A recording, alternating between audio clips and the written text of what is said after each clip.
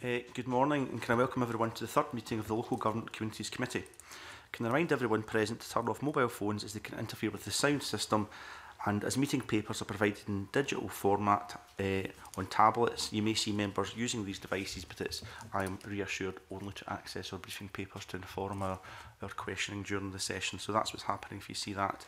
Uh, we have received no apologies for this morning's meeting and we'll move straight on to agenda item one, which will be declaration of interests. Uh, so can I invite uh, Ruth Maguire, uh, who's joining our committee to declare any relevant interests. I have no relevant registrable interests to declare, Convener. Uh, thank you very much, Ruth, and welcome uh, to the committee. And uh, whilst it was only a brief stint, can I put on record our thanks to Mary Evans, who engaged fully in the work of the committee in the short time she was here. So thanks to, to, to Mary for that. So on to agenda item two, which is decision on taking business in private. Uh, so we have to decide whether to take items four And five, in private, can I ask members if they're agreeable to that suggestion?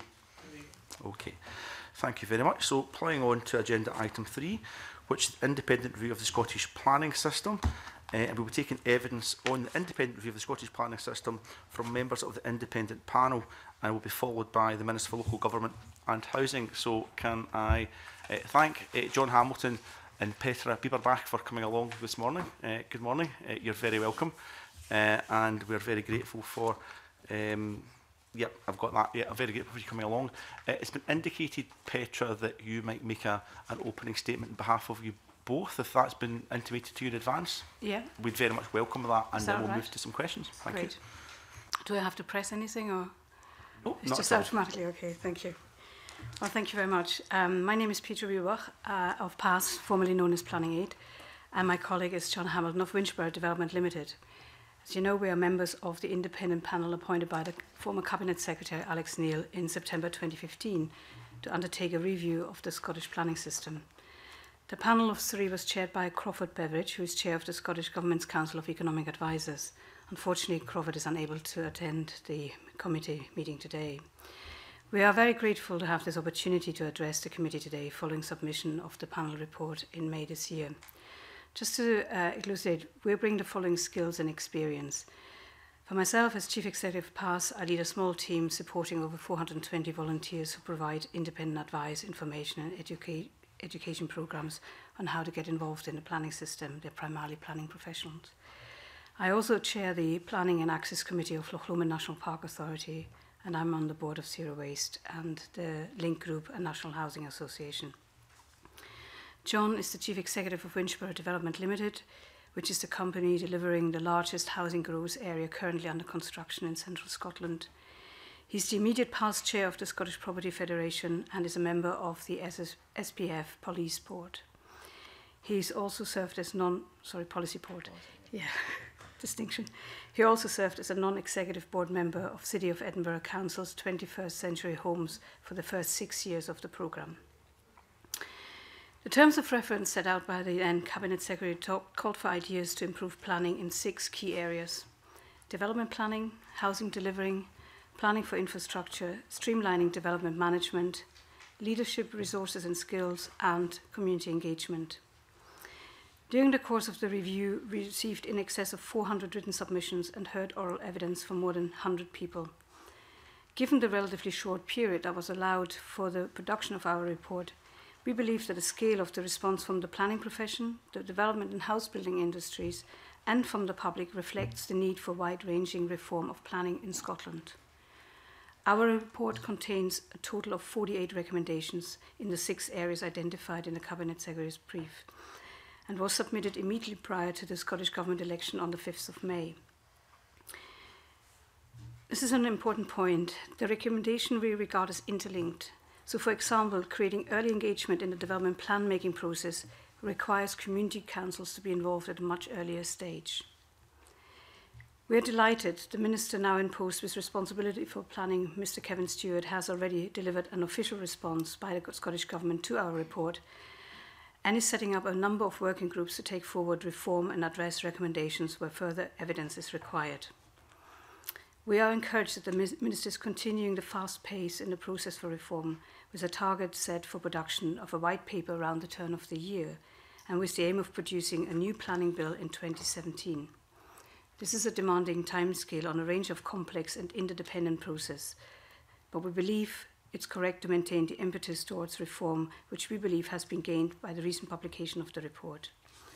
We are aware that ongoing constraints on public sector finance at both national and local authority levels, additional budgetary pressures created following the, European, the recent European referendum are likely to lead to severe challenges and difficulties and difficult decision on where the focus for the reform should be. We believe, however, that in virtually any economic circumstance in the foreseeable future, there is a proven need for the report's recommendation to be taken into account in future work, which is now being undertaken in forthcoming legislation.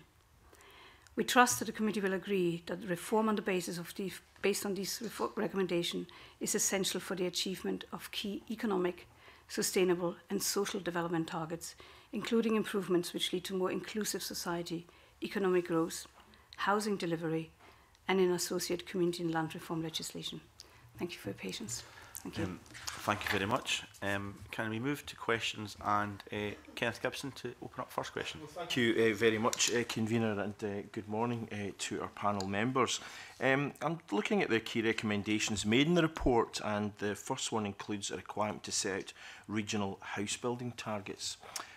I'm just wondering what you actually mean by regional, whether it's local authority or some wider context.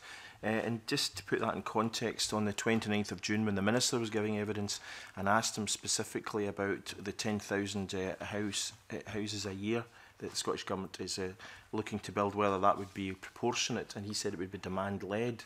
So I'm just wondering how a demand-led system would, would work along with regional house building targets and how that might dovetail. Samuel? Well, yeah, one of the uh, points or issues that you know we noted in in the course of the review is that uh, housing targets are uh, more or less seen as a sort of snap snapshot in time, and uh, it's, it's quite difficult for uh, planning authorities at uh, local development plan level and in the strategic development plans to be fully aligned all of the time on the basis that these are uh, snapshots are made over periods of years. So alignment with uh, housing policy, you know, specific housing policy as distinct from planning policy can be quite difficult to, to achieve. Um, what we were looking at is uh, a recommendation on a, a regime that would, at the top level, look at the, the requirements for housing on the, the national scale. Um, at the moment, we, we have strategic development plan uh, plans and planning authorities and it seems to us to, to us to be quite cumbersome in how these targets are filtered down to local levels. We do see that the need to maintain regional targets because we have, you know, specific, you know, large or relatively large urban areas in central Scotland and in the northeast. And, uh, you know, we see it as being essential that there's an effective uh, assessment of housing demand in those areas Um, so there must be regional assessments, and I, I think we would anticipate you know a lot of the work around that being done potentially with uh, the type of city deal uh, structures and funding structures that are coming, uh, beginning to emerge now, and uh, the funding that would come from that. But we're conscious also of the need for communities to, to be represented.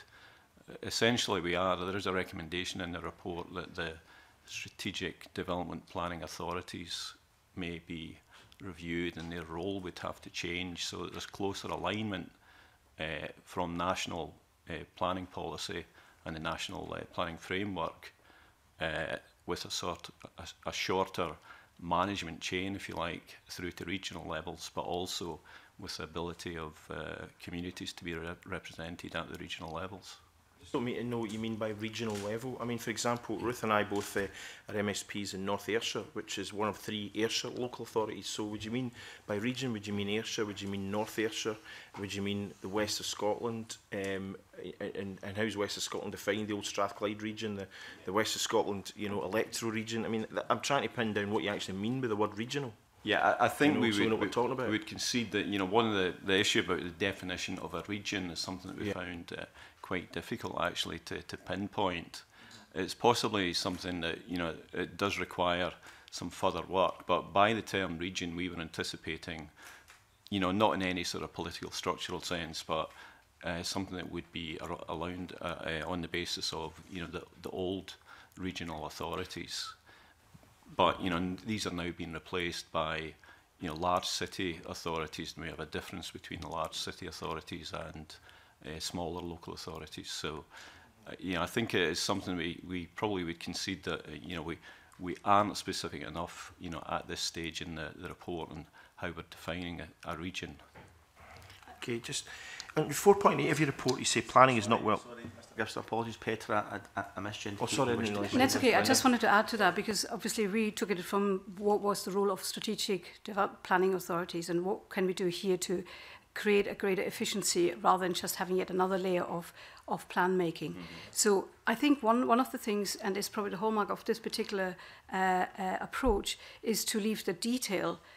to many other stakeholders. We made recommendations by looking at the evidence in front of us.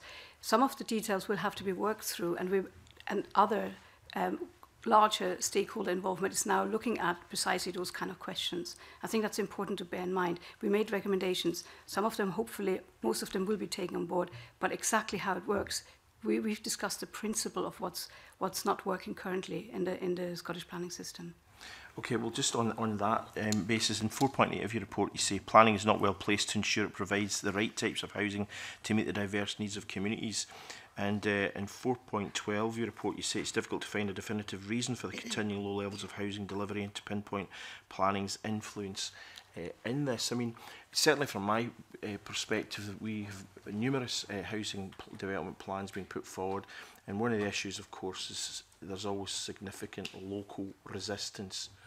People who are themselves well housed don't seem to be too keen on other people necessarily being well housed in their area. They're all keen on new housing as long as it's somewhere else. And it's about how you try and deal with these, these issues because there's a whole. One of the things we've talk, you've talked about in your report is community engagement, but at the same time you're talking about barriers to um, to more housing development, and those two things can often be very contradictory. I'm just wondering how you feel we can move to try and square that circle with giving people a feel as if they've got an input, but at the same time ensuring that NIMBYism doesn't defeat, you know, Eh, a, a host of um, necessary housing developments. Absolutely. I think this gets really to the nub of the problem and that we have seen almost planning being used like addressing a democratic deficit. I, local, local communities feel we, that's the only chance we ever have. Somebody will listen to us. And I think to some extent what we want to see is a, is a mature debate about the kind of needs that society requires. So housing is part of that. And we have a, a, a real housing shortage, especially around affordability, affordable homes we also need to have that debate at a much wider national level and perhaps, and I think it aligns with what we, one of the recommendations is to have it, to, a di discussion in Parliament around MPF and housing requirements. That then can filter through, once the acceptability by the elected members is, is, is there, then that debate can be taken into the local communities and sites can be identified.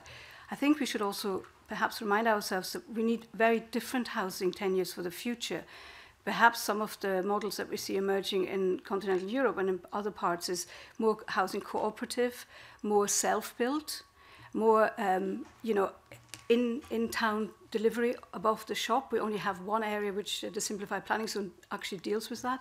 So I do think we need to look at it much more creatively rather than the kind of large scale that sometimes that's what people envisage and that's what people then uh, fight against.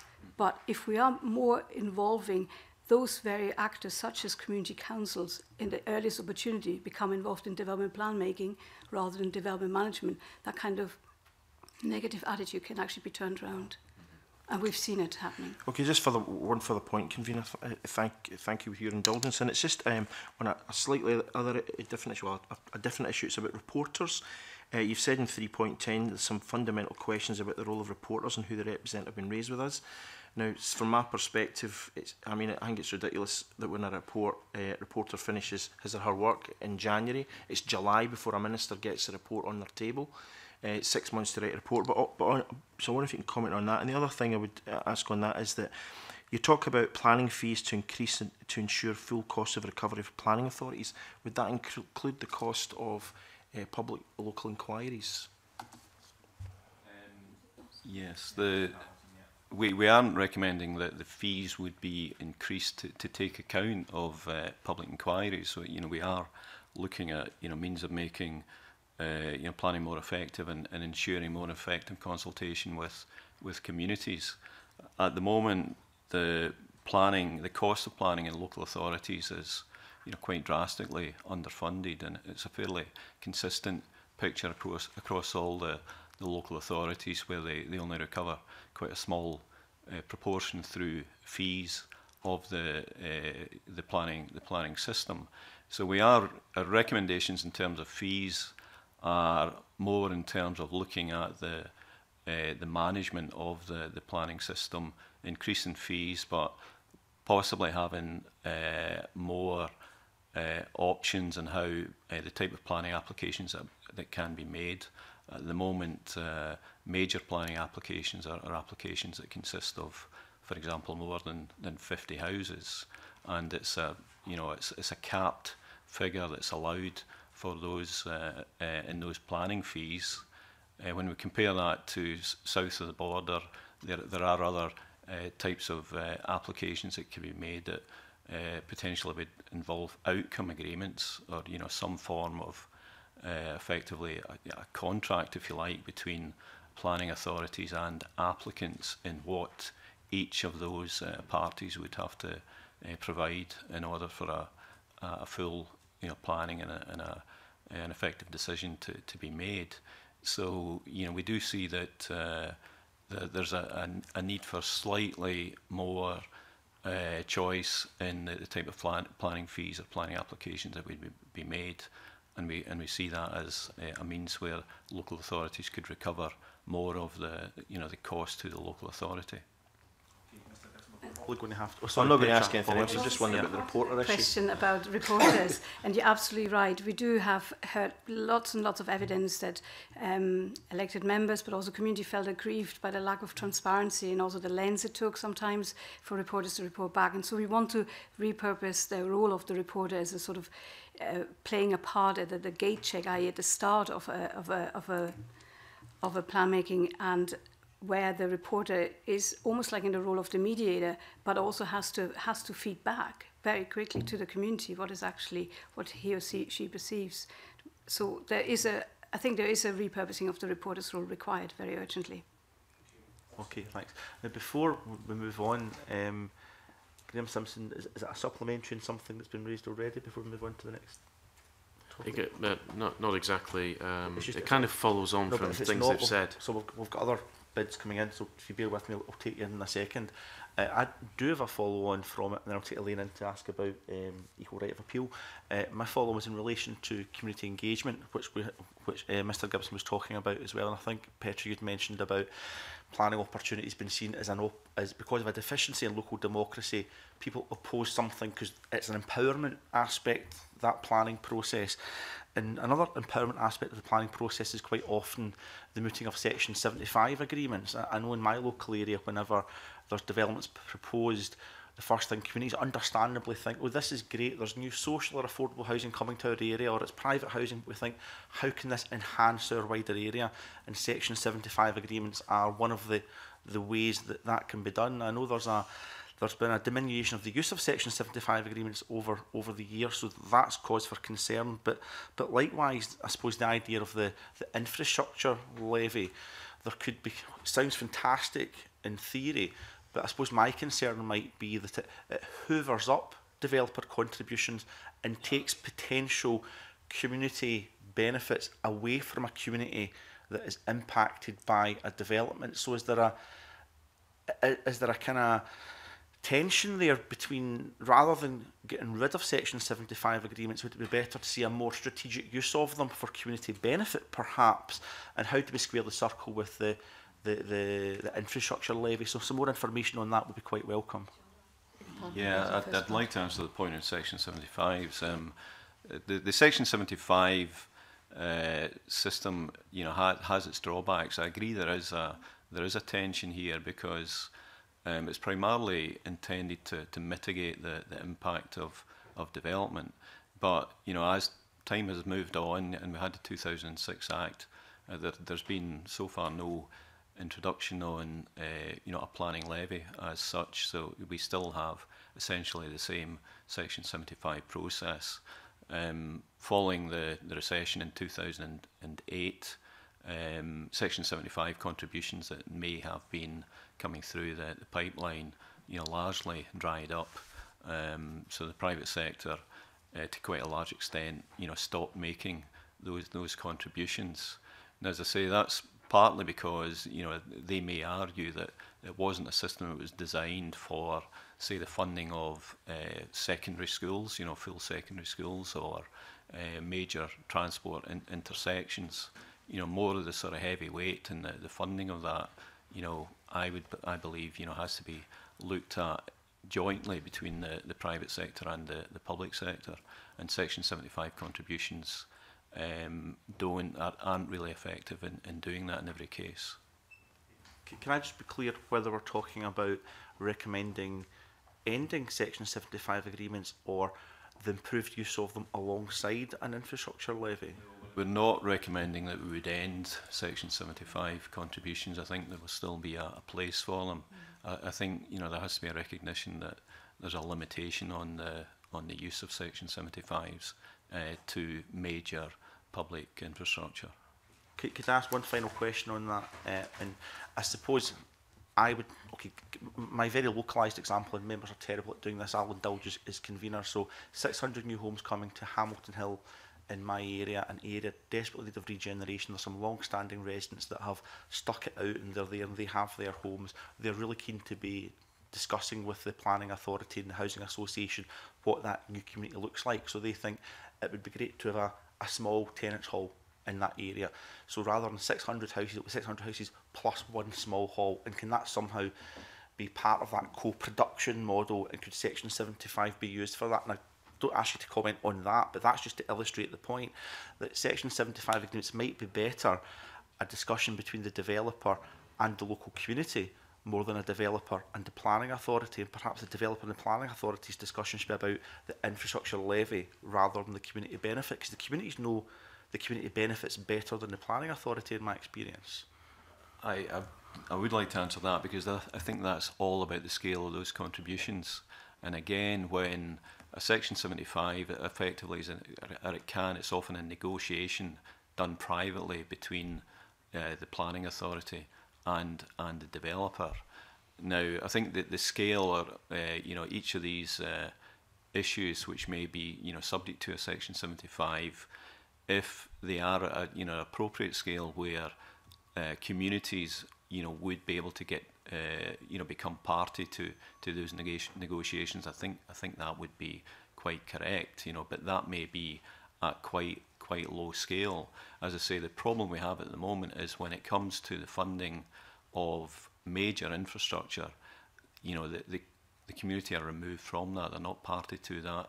And, uh, you know, the Section 75 negotiations are not, in that sense, completely transparent either.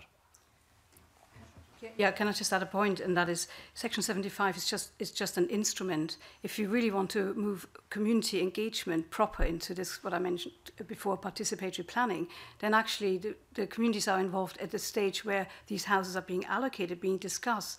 Their intelligence is being sought in terms of where, when, and how. So rather than just waiting at this final point when it's already done, dust, and then there's negotiations starting between the developer as to what additional um, additional benefits can be had for the local authority. I really think we need to move to a much more mature, much earlier dialogue and not wait until 600 and then community states, okay, this is how what we would like to see. And that's the whole thrust of this reform is really trying to make it much, much more front-loaded because I think if there was a failure, again, 2006, it's partly because the community, the Planning Act in 2006 did promise some better community engagement, but we had 2008 recession and very little, I think, in terms of the spirit was actually realized. So we still have many, many communities out there who not readily engage, who don't even know that there's such a thing as a planning system. And only when it comes to the latest point are they starting to say, I want to be in there. That's really helpful. Thank you very thank much. You. Um, Elaine Smith. Thanks very much, Convener, and thank you both for coming along this morning and for your report. Um, before I move on to questions on the theme of, of uh, Equal Right of Appeal, though, I noticed when you were introducing yourselves, I had a, a quick question. Whilst I know the, the government appointed the three of you, could I just ask, do any of you have um, a, a, a planning qualification or a community qualification, or is it a business background? That's something that occurred to me when you were introducing yourselves.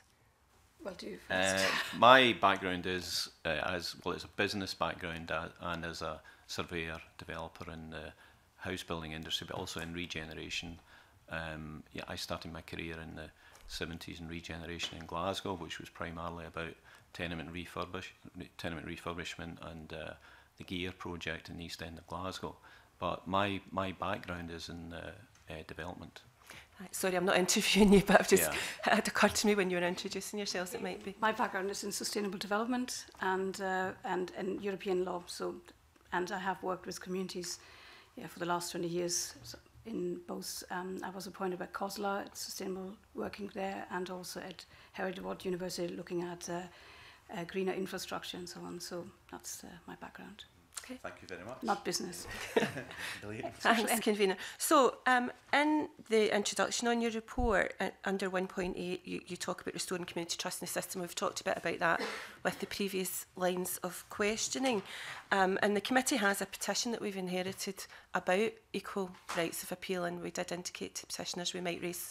some of these issues this morning. So I think we're moving on to that, convener, if I'm right.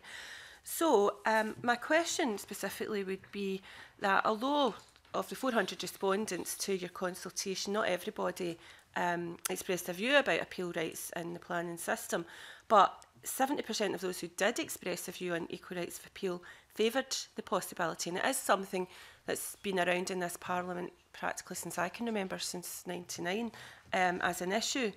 So I think that given that the majority who, who did respond on that issue albeit there was no specific question on that issue, um, they did respond in favour of that. I wondered whether you, or could, maybe you could tell us why you didn't think it was appropriate to refer the matter for further um, government consideration.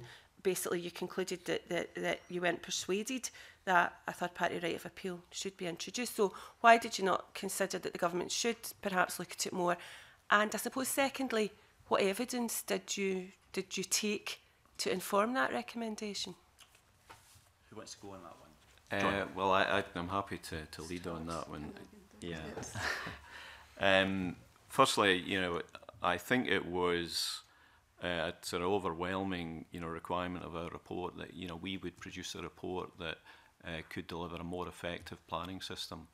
Uh, we agree that, in fact, I think you know we deal in you know quite amount depth here, you know, there are deficiencies in, in our planning system. And, you know, we were addressing this from the need to make planning, the planning system in Scotland more effective and, uh, and as part of that requirement to make improvements for local communities and how they would become part of the, uh, or how they could con contribute to the planning system. You know, one of the things that I wasn't aware of until we, we did this report is that there, there are over 2,000 registered community councils in Scotland already. And now, obviously, you know, that number of organisations has a pretty, you know, it's paltry the amount of funding that those organisations have. But the fact is that they, they do exist. And I think we avoid, you know, use of the word NIMBY in our report, but it's already been mentioned in here. And, you know, I don't think there's any great uh, uh, argument that you know that sort of uh, attitude from a lot of parts of the community who are well housed uh, may be a barrier towards you know delivering improved housing for other people. So we did approach this from the point of view that we do see the need for communities to be far better represented. As a step change from where we are just now, we think those communities uh, must have a better and a clearer role to, to play in the planning system. Uh, we were looking at a, a process where, and again, you know, because there's a large number of them, we see, we'd see it as being a great difficulty that they, they would each have the right to be represented in a, a local development plan. But a number of communities that we met put forward their own uh, community plans, which some of which were well received in their local authority areas and, and some others weren't. So I think we would see a, a process where uh, community councils may at least have the, the ability and the option to, to opt in, as it were, into the formulation of a, of a development plan and, and have their voice heard at that stage. Petra, do you want yeah, to add? Just to add to that, I think if you if you know that the, the the kind of journey that we're on is to have more collaboration, is to have more involvement, is to have a kind of national debate about what society needs, what its requirements are, how it looks after its uh, excluded groups, because there are plenty of uh, groups that are outside the planning process. We had evidence presented from across the UK. We looked at, we had um, academics who have worked both in, in, in, in the UK as well as in Ireland.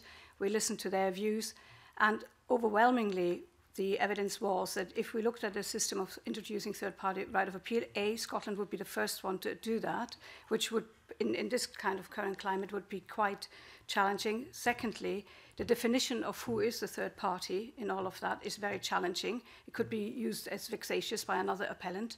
And if we're having now, the third, the third point also being is that eh, the evidence from, from academics in Ireland that it is actually becoming a more centralized rather than local process because the decision is being taken out.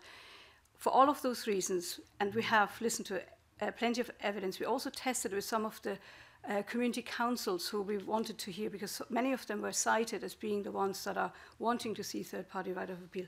When we had a discussion with them about approaching a change of rule for them being early engaged rather than at the very end, each, each one of them felt that early engagement and their strategy role being in that early process of development plan making and enhanced resourcing is far better than waiting. And, you know, appeal is, has a sort of, has a notion of them and us. And that's not, I think, what, what we wanted to see in this kind of reform. We wanted to have something that is far more inclusive, that can be more um, proactive.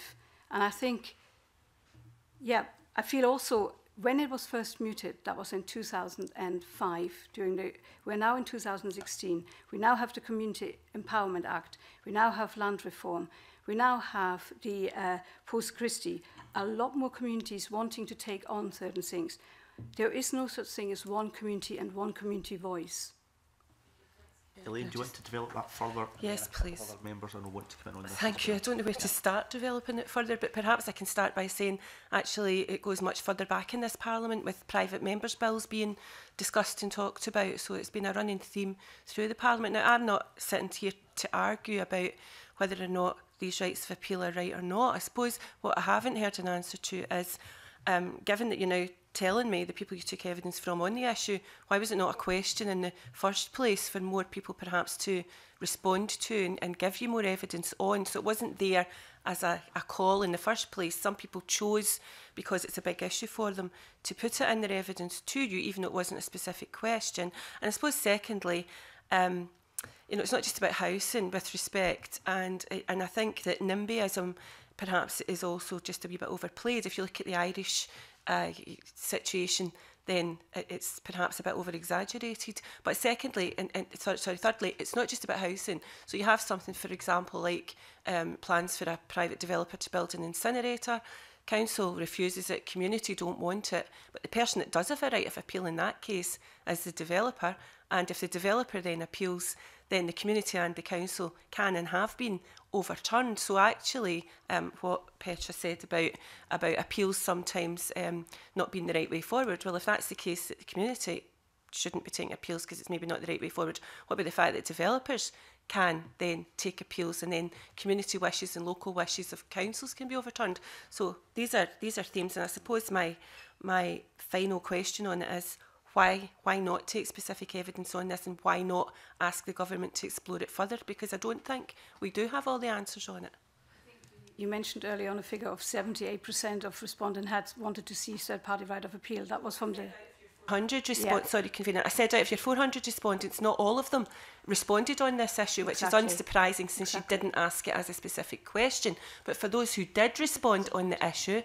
and raised it, 70, 70 not 78, 70% of them were interested in seeing third in equal rights of appeal. But give Petra a chance to yep. kind of uh, answer that. Yeah.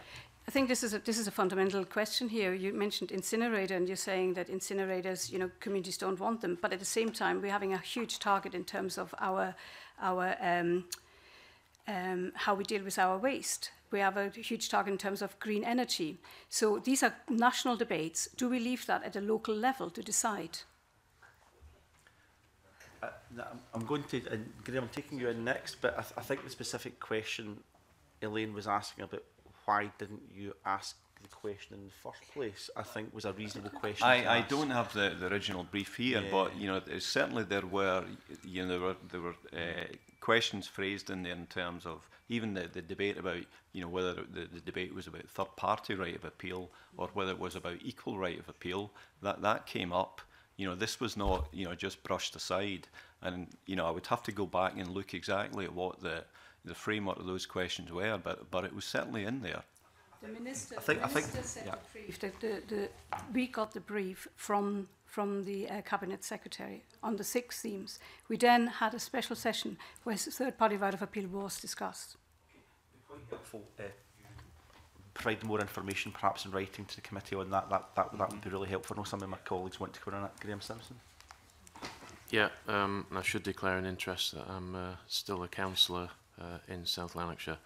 Um, so just to develop the theme on uh, third-party rights of appeal, um, do you not do you not see the problem here is that what what what you're suggesting is you allow a system that we we currently have where developers like yourself, Mr. Hamilton, um, can appeal um, if uh, your development uh, was was rejected. You could appeal, but the communities that you say want more involved could not appeal. Do you not see the the issue there? No, I don't see the issue. I mean, what what we are uh, you know looking to to achieve here is you know a more focused and more direct planning system where developers would be constrained and would be guided by an effective uh, development plan in you know on the basis of those uh, those those applications you know I would have no sympathy for a developer who makes an application you know that runs completely contrary to a, a local development plan and uh, you know if that was appealed and it was refused then that developer you know has to make their own choice about the business plan that they put behind it, you know, how much investment they put in, firstly to a planning process, and then secondly, you know, to the delivery of that, that planning application. Um, you know, we're talking about, and I appreciate this is not all about housing, but you know, we require a step change in the number of houses that we're building across all tenures in Scotland. And those are very, very, you know, significant business investment decisions that would have to be made around that and other you know, large-scale projects that, that are being mentioned in, you know, in incinerators, that there's a crossover between the, the needs of the public sector in having those types of projects delivered and what the, the business community and the investment community will have the confidence to put behind them to, to see them being achieved. Yeah, just to say, the, the, the third party right of appeal came out of the discussion that there hadn't been sufficient community engagement. What we're trying to do here is front load much, much more community engagement at the earliest opportunity. At the same time, I do think that um, if, we, if we're narrowing it just down to a third party or equal party, who defines the party? We had recently, we had Portobello High School, which drove a community, which drove a, a real big wedge in the community. So who is the third party there? I think it's, it's very, I rather see a much more proactive and engaged and inclusive system that doesn't need to have a third party right of appeal because we got it right. But at the moment, we don't have it right. Thank you. Now, just a, a brief follow up, Graham, to go to Andy and after that. Oh, yeah. Absolutely. So if you get it, if you get it right, then perhaps you don't need any so, sort of appeals. Perhaps you don't need Mr Hamilton to appeal there um, if he's not happy. Uh, so if it's, if it's done right, you don't yeah. need any appeals. right. You know, if, if it's absolutely right, but I'm not recommending, but if, if that's a, a suggestion, then, you know, in principle, yes. Uh, you know, if we have a perfect planning system, we would not have, we would not have right of appeal. But we are, our recommendation is, uh, uh you know, it's heavily geared towards improving the planning system and making sure that planning applications are made that reflect uh, national planning policy and uh, local development plans.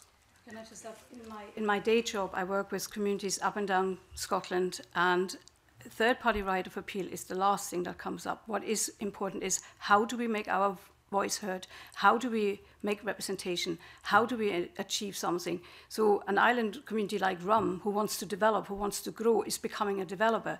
A development trust who takes on assets is becoming a developer. That is the proactive side that we're now seeing more and more. What community want to understand is when, how, and why their recommendations and the transparency in decision making feeding back to them. So I think we need just a more mature debate about saying. If I could add one thing, yeah. as Peter, Peter, was saying, you know, there is a lot of interlink between, you know, what are apparently different recommendations in here, and you know, we do make, uh, you know, points about leadership through the planning system, and making a commitment to planning policy. And I, I think this is part of that as well. You know, in fact, we're making recommendations on, you know, even at the level of a chief executive, approving uh, a development plan. And, you know, th there has to be confidence from both the, the public sector and the private sector that planning policy is done, you know, set correctly and, you know, we have a system that delivers against that policy um, my, my deputy commissioner's asking for supplementary, but Andy Whiteman's been very, very patient. So probably because of time, I'm going to have to say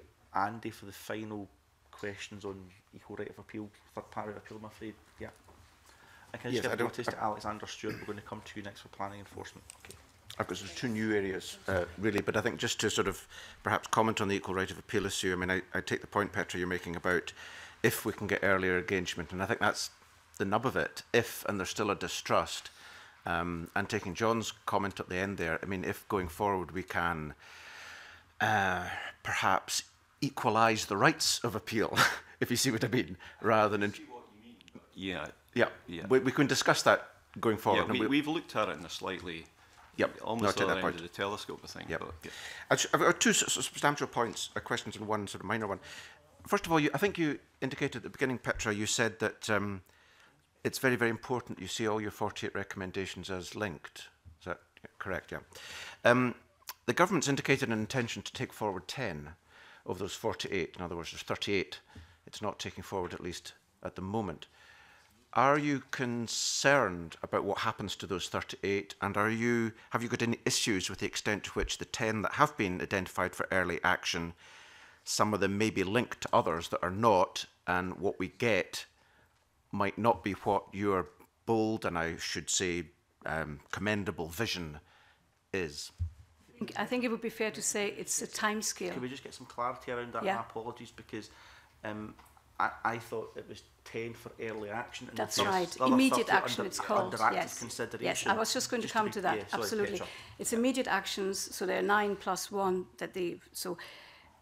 that, that's for action because one is an inaction. And the other nine, yes, they've taken that on. The other 38, I think what's really commendable, and this is again in the spirit of this, of this report, is around collaboration. So there are a number of working groups now being set up across the different six themes to look into the detail of how some of that can be delivered and how, how some of that can be worked through. Because the thing about, about planning is, There uh, are so many different stakeholders, so many different interests, and therefore it is important that everyone has a, has a some sort of uh, input into that so that it becomes a shared experience and it comes forward. So I think the working groups are being set up from what we understand and they're meeting already for the first time next week so to take further in more detail the recommendation because we made just recommendation. It may well be that others will feel they want some more, some some more details. They want to work through some of that. So that's where what I understand, and the timescale is quite ambitious. Andy? Okay, thank you very much. We'll obviously pick up some of that with the Minister um, later. Um, my second substantial point is around recommendation 18 on land value uh, uplift. Um, in your view, how significant an issue is this in relation to the millions of pounds that flow as unearned increments currently to, to landowners? Who captures these now? um, the mechanisms in place. We've already heard Section 75 to potentially capture some of them at a later stage. Who should capture them? And what would the implications be in moving towards a system more like we had at the beginning 1947, and as I think still exists in Germany, um, where those are in a sense captured to provide public benefits at the outset, to invest in infrastructure, good planning, and all the rest of it, and, and, and house builders get ahead and build houses. Um, think there there is unfairness, you know, in the, the system we have just now, where, um, you know, on the basis of a, a decision being made by an authority, uh, a piece of land can become or could become, you know, a great deal more valuable than, than it is just growing crops. Mm-hmm. Um, we do, you know, we have opened this up, as I say, you know, to the uh, potential for a, a land or a planning a planning levy. And the reason for that is that even in the development and the house building industry there's the recognition that the planning system, you know, confers value to to land, but that doesn't always mean that every piece of land is profitable or is or is effective.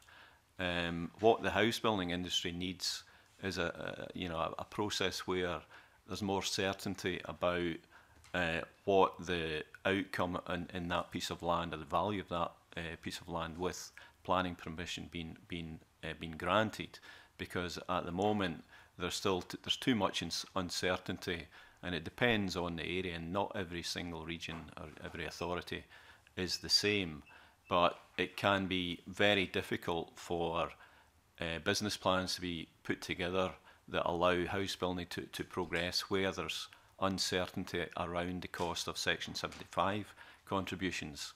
Um, I think a few years back, probably a great deal of people in the house building industry would, you know, react against any suggestion of a, of a, a land tax or, a, or a, a land levy. I think there's increasingly a realisation, and you know, we heard evidence from Homes for Scotland and from in, individual house builders that there is a realization that this is all part of the, the process. You know, costs have to be met. A lot of these costs that, you know, currently might flow to the original landowner may have to be, you know, charged for the, the delivery of education or transport. Um, you know, the, the process, if it's working correctly, it will still result in a, in a fair payment to the landowner. Ultimately, people that, that own land you know, we probably, I'm not, you know, wanting get into a discussion about CPO, but, you know, where a piece of land is required as part of a, a local development plan or as part of a, a part of a national policy, and then in some cases CPO is used. I think that, you know, instinctively we would try to avoid that so that we have a, a better and more effective system that still allows for land to be paid for, but also allows for infrastructure to be funded as part of a, the cost of a, of a development. I think, I think we recognised that there is value in exploring this further. That was definitely in principle accepted. And it's not just about housing. If you look at infrastructure provision, such as the Borders Railway, for example, that kind of yield that you see there, the uplift. So I think it's something that needs to be looked at in much more detail. But I think there's it fits in very well with the land reform. And that's the other thing that we found in terms of the 2006 Act and what we're seeing now is the much greater buy-in by different departments and by different uh, local authority departments and Scottish Government departments to make, make this, this reform much, much more uh, far-reaching. Okay, thank you. Just one final little point, a third one. This is on your recommendation 16. Um, you talk about Scotland's diverse housing needs and it's important to ensure that support for new sectors does not inadvertently provide opportunities to build mainstream homes which do not meet established needs. And you then go on to say, where special measures are introduced to promote the private rented sector, an assurance of the retention of use in perpetuity would therefore, in our view, be essential. Could you say a little bit more about what you mean by that and whether what you mean there applies to more than just the example you've used, which is the private rented sector? Yeah, the, the thing it does apply to, to more. We have we have used the example of the private rented sector there, but um, it's uh, you know an issue. I think that you know local authorities can be sensitive about um, and uh, this is particularly the case in the, in West Lothian Council, where planning might be granted for a, a tenure which appears initially to, to meet affordable housing requirements. Um, shared equity would be an example. Mm where um, if there isn't uh, the ability to fix that type of tenure in perpetuity within a very short period of time, you know, possibly even months, and you know, it could then there could be an attraction to the owner of that property to put that property back into the market. Uh, now, in West Lothian Council, they have fairly strict uh, guidelines about how affordable housing must uh, be legally, the, the title must uh, require it to be affordable in perpetuity. Um, it does that. That's a sort of older example, but it does sort of uh, cross over into the, the private rented sector, where if similar title provisions aren't made, then a developer might, you know, uh, get a consent for private rented sector, you know, in the part of the market uh, which, you know, in the short term meets that market, And then even on you know fairly big scale, you know those uh, rented units could then be sold into the, the open market. No, I, that's Sorry. exactly what we, we want to safeguard affordable housing. See what else. help. Sorry. Yeah, no. so, so what you're really saying is you're proposing that the planning system, in terms of use classes, for example, should be able to incorporate a more fine-grained um, understanding of the use to which right. land yeah. property is, is put.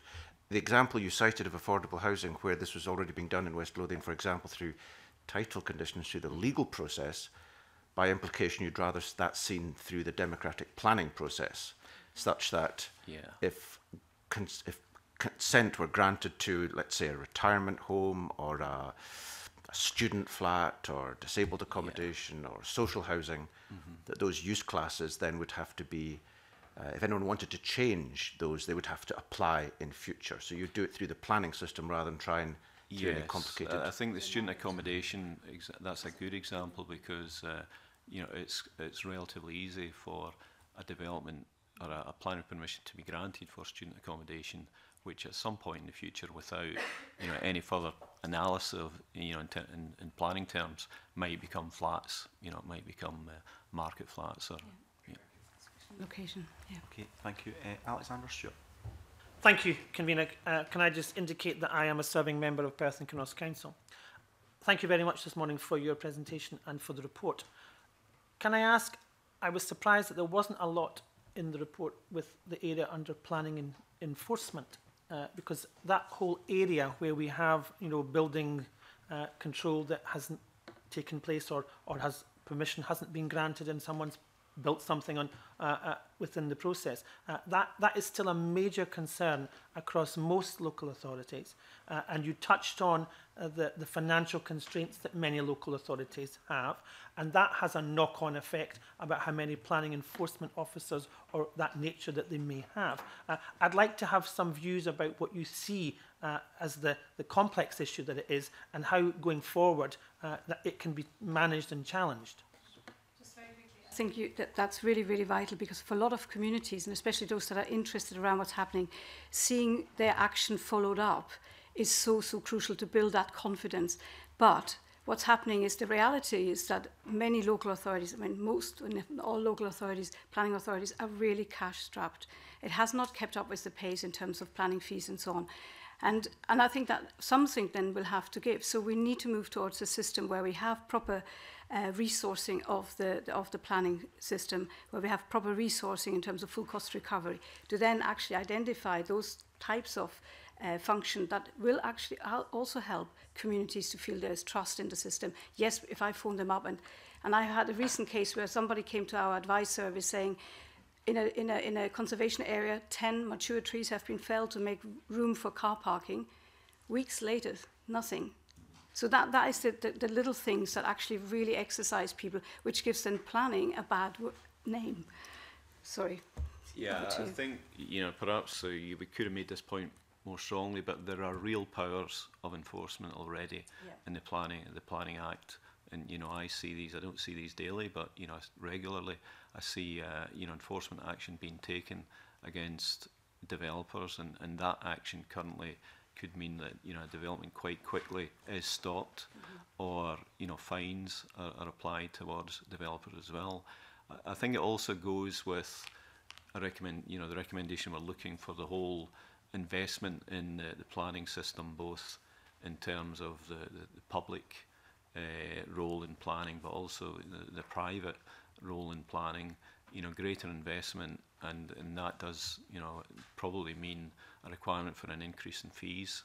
Um, there isn't enough resource in the planning authorities, you know, within local authorities for planning officers to act. Also, in, in many cases, they have to act as management, um, you know, case officers and in, in enforcement. And uh, unfortunately, some of this does come down, I think, to you know, a question of resource and how uh, how valued the, the planning system needs to be. that it has, you've, you've, you've come back with the right answer, for me anyway, that it needs to be managed effectively. Uh, I, I agree.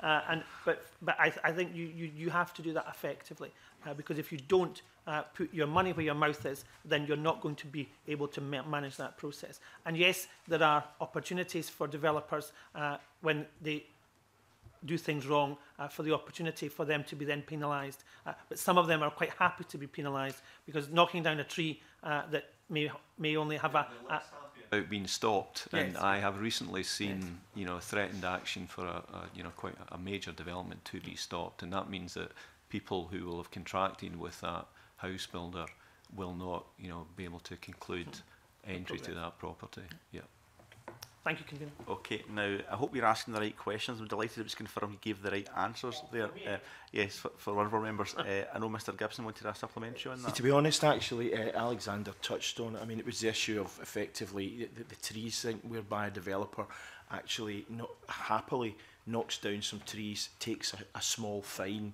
and then sp- and then gets a dozen houses built which they sell for a couple of million. And it's about trying to ensure that the punishment fits the kind of crime, so to speak, and that, the, that there are real barriers to people undertaking such action because it's actually happened in my constituency also. So that was the only point I was wanting to make there, convener. So. Okay, and could you, you might want to follow up after that, because I know you wanted a very specific yes, question in relation to island communities. One, it was, uh, uh, thank you, convener. It was in terms of um, your recommendation 11, you talk about, given the special circumstances, the island authority should be given more flexibility, where this would better reflect the distinctive local context for planning an island setting, and obviously I agree with that, and the islands bill will certainly encompass that. But in my constituency, I've got an island uh, of uh, 5,000 people, Arran, which is very distinctive from the rest of North Ayrshire. More than 10 miles off the coast, I've got another island, Cumbria, which is more integral to North Ayrshire. Uh, uh, but but uh, Arran itself, for example, a lot of the things that you've suggested here, an example, for example, encouraging broader, more creative use of schemes of delegation, uh, etc., could be bring forward in integrated terrestrial marine plans. Now, these all apply to some well Aaron as well. Although, so would, are you of the view that it would be that you that it should only be the island authorities, or do you feel there's room to manoeuvre in order that perhaps distinctive communities that form that are on islands uh, can also have a bit more flexibility and autonomy in terms of these issues. Yes, again, we, we've put it out there, and now I know that one of the working groups have been uh, inviting representative of island communities along to, to discuss in a bit more detail exactly how it should look, because especially around marine planning, there are some real, real challenges, and aligning that much better with the spatial planning, I think it requires all islands to have some sort of view, not just you know, island authorities. So yeah, I think it was just because your recommendation mentioned island authorities rather than yeah. island communities. It's not. It's yeah. Sorry. Okay. Thank you. Thanks for that helpful clarification. Yes. Thank yeah, Mr. Helpful. Gibson. Yeah. Could could I indulge then uh, and ask another question uh, myself? That I know with one of the recommendations is that development plans. Uh, in the future may be reviewed every 10 years rather than every 5 years. Now my understanding is that uh, planning authorities do produce 10 year plans, but they're reviewed uh, in the middle of that in, of that process. Now, whilst I understand from my council colleagues that can be a massive bureaucracy doing all of that, the concern I would have, my experience of as an MSP and a local resident engaging with Glasgow's development plan is I get a crate of documents given to my office and the area I lived in was earmarked for dramatic changes. I didn't know as the MSP, I didn't know as a local resident and the local authority clearly had no particular desire to engage with the community about what a local development plan would look like. Now, I'm one of these nimbyistic individuals, Mr Gibson, I don't know. I had some significant issues with it as a resident. Um, but I suppose in the more general terms, I would be worried that errors in local development plans could be locked in for 10 years. And that would be a concern I would have. So I get that it works for planning authorities to have that 10 year plan and more stability and more structure and longer, more strategic views. But how do we make sure we get things right in the first place and actually co produce some of those plans with communities rather than a planning authority just doing what planning authorities do? I do think that longer term planning can help to focus on delivery. I do think that some of the experience that we have currently with the system is the current system. What we're, what we're proposing is longer term plan, certain flexibility, but also linking it in terms of changing the role of the community councils. If your community councils had been a statutory consultee in your development plan, I'm sure more people would have heard about what was being proposed. If we're now seeing the on onset of, and North Ayrshire is a big example there because they're leading it Ayrshire, North Ayrshire wide, lo locality plans being created together with community planning, having actually shared service delivery, understanding where the police, the health, education wants to go over the next few years. That That makes for a much better and integrated system where locality plans will have to be informed by the local people. So I do think some of the experience we have is, is born of the current system, which is not working as well as it should be. There's no doubt about it. What we're recommending is how we could be working much, much better. I, I suppose my reflection is if a planning authority uh, tries to promote or raise awareness and holds a meeting, uh, one man or one woman in their dugout turn up if a local elected representative tries to get publicity for something that's happening in planning, you get a full town hall. So there's real lessons to be learned about what does it really mean to engage, and when you do advertise and promote and roll out a consultation, there's sometimes a feeling from communities that planning authorities are actually quite happy when very few people engage because that creates workload and, and, and issues around that. So is there a culture change with, planning authorities? I think we want to see, sorry, we want to see much more use of digital and social media. Again, 10 years ago, it hadn't been there. When we did a development in Balach, we had we set up a Facebook and lots and lots of people that wouldn't want to go into drafty community halls commented on that. So we need to be much more uh, innovative in the terms of how we use the social media, uh, both both uh, Facebook, Twitter, but also nowadays we have um, the charrette process, which is very visually uh, attractive and can lead to much more um, sort of using 3D technology. So all of that is there that helps, and I think we need to embrace that much, much more. And we haven't done that in planning, whereas in other in other policy areas we have worked much more with social media. Okay, Mr. Hamilton, did you want to add? Yes, I, I think you know the role of uh, local members is is absolutely key to this as well, and. Uh, I would like to think that you know that's sort of I know that kind of scenario you described there can happen. I, I would like to think that you know we have a early consultation process where uh, local council members and local communities will see these things coming much earlier in the process and we'd be much more prepared. Um, so that there is there's still a balance here, but you know the five year pro. I think we've we've got two problems at the moment. Is that things happen too quickly without you know consultation, and then we fall into a, a five-year cycle which is constantly repeated and constantly underachieved. Um, we have to get away from from both of those uh, those failures, I think.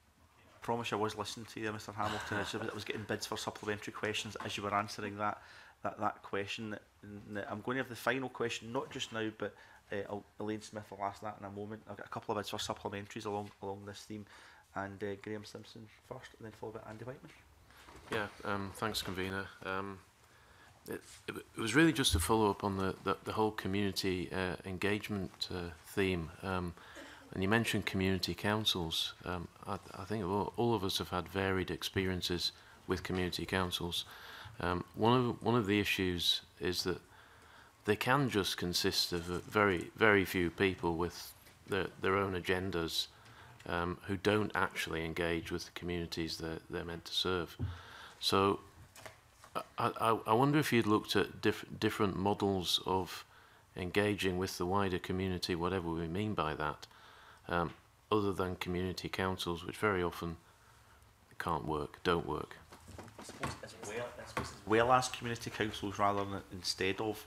as well even, as yeah. Because even the good community, I mean, all community councils I go to are, are good, and, and I'm not just saying that they are, but by but by def, but by def, I, I, I don't I don't know once Mr Simpson goes to that, uh, he can stand to account for that, but they're only representative of those who attend community councils, which by definition is a tiny section of society. So I think that's a really valid point.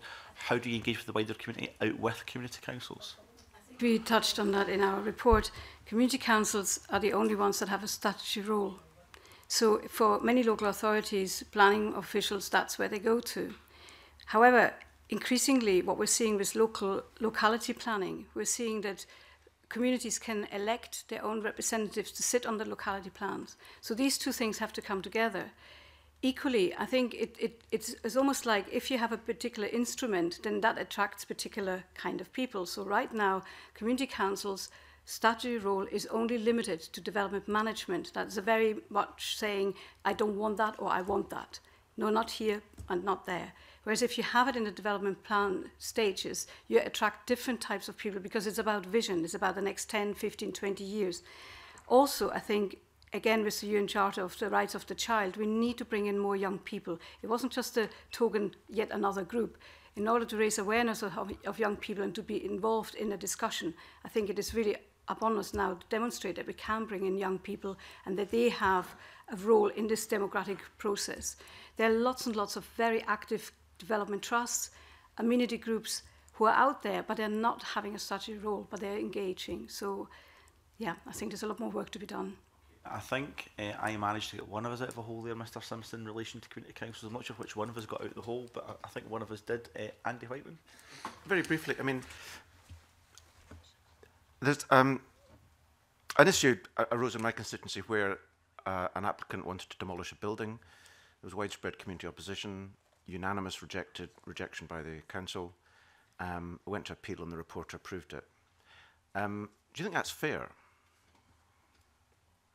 Without looking at the evidence, I mean, from what you, how, the way you're describing it, it seems not fair because of whatever. But I think you have to look at the ex- evidence exactly what is the building for, why. Is, so it's it's very challenging. But that's again touches on the role of the reporter, why and at what point are they coming in? And we, we want to have a much more front-loaded system. Much more front-loading of the system so that the reporter is much much upfront, yeah. not at that late stage of the adjudicator. Again, that's negative. But the reason I raised that particular issue was there's no front loading of a system where someone suddenly comes along and says, I want to demolish that building. I see it a lot in, yeah, I, in I, I think if, if I could just say one thing, uh, it's difficult to comment in you know one specific case like that, and, and obviously, uh, you know, no matter what the forum is, the, the, the person that made the application would expect to have a, a hearing. But uh, again, what, what we're looking uh, to try to achieve in the report would be that uh, not only uh, planning applications but planning hearings would be taken at local level mm-hmm. so that uh, you know at the moment the, the system can seem very remote to communities where it's taken away to Falkirk, you know, or the you know reporters unit in Falkirk. Um, we are making recommendations about how uh, you know appeal appeals or, or hearings mm-hmm. should be conducted you know, earlier if possible through the, the gate check system. Um, but in principle, if, if they can be achieved at the, in the local the local area. Okay, um, Ruth McGuire. Yes, um, just thinking again about aligning um, development planning and community planning, and we talk about front loading of consultation. Um, some people mentioned um, community councils being one group, and I know um, Petra, you made the point a couple of times that there's no one community. Would you agree that when we're looking at consultation, we need to find ways that communities of interest can sort of almost opt in and out so that they're not um, fixed in a single structure like a community council and that's their only way of contributing, that we do find a way to have people, you know, kind of come in and out of the process almost? Yes, and, and we, we mustn't forget that at the moment local community councils, and a lot of them are very, very hardworking, and we work with, with almost all of them. But I think what it, what it is, they are definitely under resourced, but they are themselves supposed to be representative of at the lowest level of democracy. So something has sadly gone wrong when they only get a couple of hundred pounds a year. So it's a lot of goodwill in some areas, a lot of goodwill depending on that. And there's only so much uh, at the current role they can do. So I don't think, I don't think currently that system works very well. But I totally agree that where, when they are becoming more totally representative of their community, then they should almost like be required and asked for community of interest to come forward. We know, for example, there's a big food growing um, crisis in some areas, and there's a lot of allotment holders who want to be more involved, who want to see more allotments being created. Equally, at the same time, we see much more uh, hydropower schemes coming forward. Now, they're community of interest, they're not community councils, but sometimes in areas, community council will object to that scheme coming forward. So yes, there needs to be a much broader dialogue, definitely. Thank you. Okay, do you want to follow up on that, Ruth? Okay. Elaine, we have got time for one final question. All oh, right, thanks, Phil. Can I maybe roll in too? It was when uh, my colleague was asking, well, oh, my colleague was asking about um, the reporters unit, and uh, I think there are issues there. But can we just clarify though that um, the Scottish Government don't have to take that advice, that they could um, take a different advice, it could take a different decision. So that was the first thing. But secondly, um, your recommendation 28 talks, and I suppose it ties in a lot of what's been said before. Um, you talk about repeat applications being managed more effectively, but I just wonder uh, could you get into a bit more detail on how you think that could happen? What could that entail? Yeah, the legislation I think does need to, to be tightened to, to avoid you know the, the problem with, with repeat applications. Um, that there is I think room uh, potentially for abuse there where uh, developers could come back time and time again. And I know how wearing that is on a community when they think they have dealt with a, an application which may have you know gone through an appeal process and been refused, and then suddenly, you know, a, a slightly different but similar application starts to, to, to run. And I can understand how that would have a, a very negative effect in communities now, how that would anger people. So, you know, we do think it's, it's an area that it needs to be tightened. It's probably not, you know, the most uh, uh, drastic, you know, of the recommendations. I think it, you know, it goes with a number where you know, we do in Scotland have a quite a well-regarded, in fact, a very well-regarded planning system, um, and that this is an area where I think that there are powers that need to be looked at to, uh, to uh, similar to the enforcement powers. Thanks. Trish, want to add anything to that? No, I totally agree. I think that that's the nightmare uh, of many communities when they see an application, they may be objected, they had consultation, and then it comes back again, again, again, and there needs to be something done about that. just on the reporter, if the community, for instance, had objected, the local government have, uh, council have, have refused planning, goes to an appeal and a reporter, the reporter then wants to recommend that, that goes ahead, yeah. Scottish Government could actually take a different view. Yeah, yeah. I think yeah. so. I think I think e e equally what John just said that the reporter sitting somewhere else, you know that that again, it's it's not helpful for the current perception of the Thank system. You. Okay, well, can all that remains now is for me to thank both of you for your attendance uh, at, uh, at uh, this morning's uh, evidence session. We've had very small amount of time left if there's anything you feel you wanted to say today, but our questioning hasn't given you the opportunity to put it on the record. Uh, any final comments you might want to make before we close this particular session? I, I would like to, to say something, and it's about the recommendations we, we make uh, about uh, the formulation of a, an infrastructure agency in Scotland. Um, I think that's a, a big handicap in the uh, planning system in Scotland where there isn't a, uh, an appropriate forum for the key agencies involved in uh, in the public sector in funding development to uh, basically convene around uh, development plans and the system at the moment is almost chaotic at times where you know we have different agencies who have no way of uh, consulting with each pr each other properly in the planning regime. So I, th I think, you know, and it's why we, we did refer in the, uh, our address, you know, we, we appreciate there's a constraint on public spending, but, you know, to really make a sort of step change in the planning system, that's an area we would have to look at either in, through an infrastructure agency or another example I could give would uh, be in England where there's a, a homes and communities agency. We don't have an equivalent in Scotland the nearest equivalent that we had was uh, um, Scottish Special Housing Association or uh, Scottish Homes. Uh, they are they are now obsolete. Um, I'm not quite sure why that's that's the case, but I would see that as being a requirement for uh, you know an area to be looked at you know closely. Petra, anything you want to add? To say that the recommendation that were put forward were our recommendations that hopefully makes the system more efficient, but also much much more inclusive. And by front loading it and opening it up to much more diverse groups of people, I think we can achieve quite a lot. Okay, well, all that remains now is for me to thank you once again uh, for giving evidence this morning. Uh, thank you, and we'll suspend briefly for a few moments. Thank you. Thank you.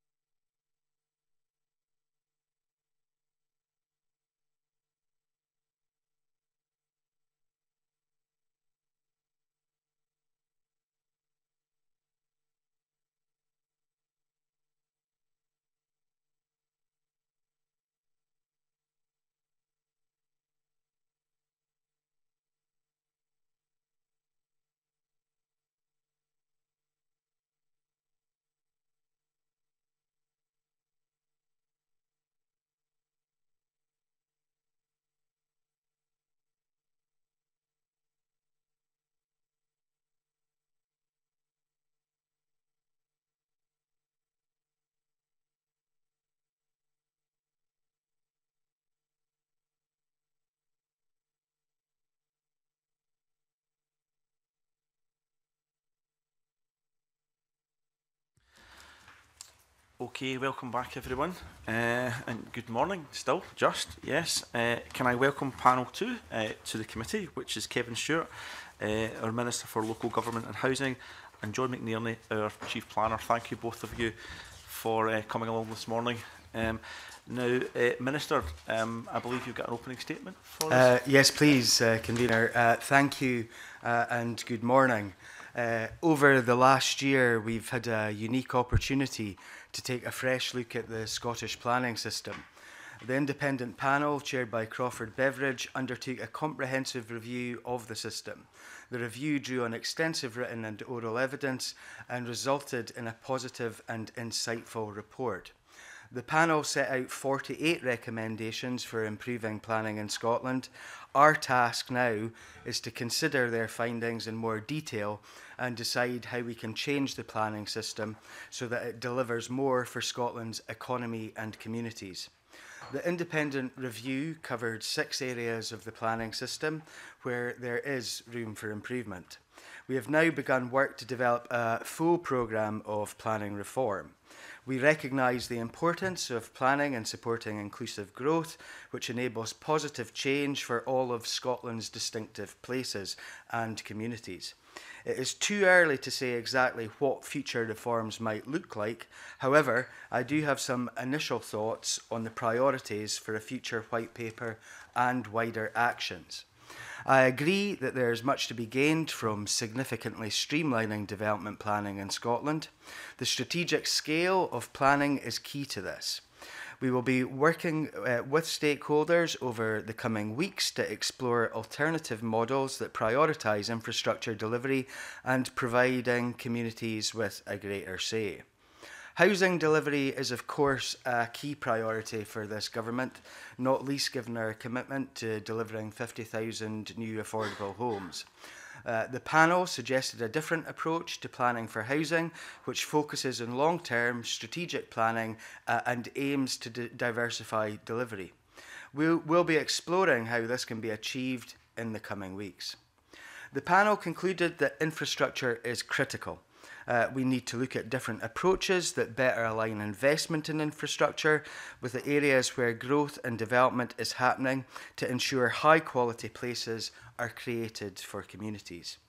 The independent report also highlighted the need for improved efficiency and transparency in development management. I agree that an overhaul of development management is not required uh, as it improved significantly as a result of the 2006 Planning Act. However, uh, there is still scope for targeted improvements. I will be particularly interested to see how more applications can be removed from the planning process to free up resources. Leadership, resources and skills is a further key theme that has emerged from the report. Uh, we begin a process of we began a process of culture change when we introduced the 2006 Act, but this remains unfinished business. There is a need to ensure that planning authorities are adequately resourced, as well as a continuing emphasis on improving performance. Finally, I believe that the community empowerment in the planning process must be central to the future of planning reform. We need to ensure that communities and individual members of the public understand, trust, and actively participate in planning if we want to get the most out of the system. Uh, we'll be exploring all of these issues with a wide range of stakeholders in the coming months. We will set out a range of options and ideas in a white paper, uh, and I expect further open and inclusive debate on the issues following its publication. The review panel found innovative examples from around the country where planning makes a positive contribution, but they were tasked with focusing on where the system is not realising its potential. I believe we are on the cusp of realising the full potential of planning to create great places for all of Scotland's people and that we should grasp and take that opportunity. Uh, I am happy to hear your views uh, and answer your questions on our own ongoing programme of work on planning reform. Thank you, Convener. Thank you very much, Minister. Uh, we're, we're grateful for that statement. Uh, could we perhaps start where we left off in the last session, where Mr Hamilton put on record uh, as part of the, the independent review group that one of the recommendations he wanted to draw to our attention was the need for a, a national infrastructure agency or even something potentially lo looking about what, what I believe is a kind of homes and communities agency in England. Uh, the, the picture was painted that there's a lot of good efforts taking place in the development and planning process uh, in local authorities and across Scotland. It's not always focused and they're not always talking to each other. And the idea of a national infrastructure agency would be would be beneficial. I'm just wondering if you could say a little bit in relation to that.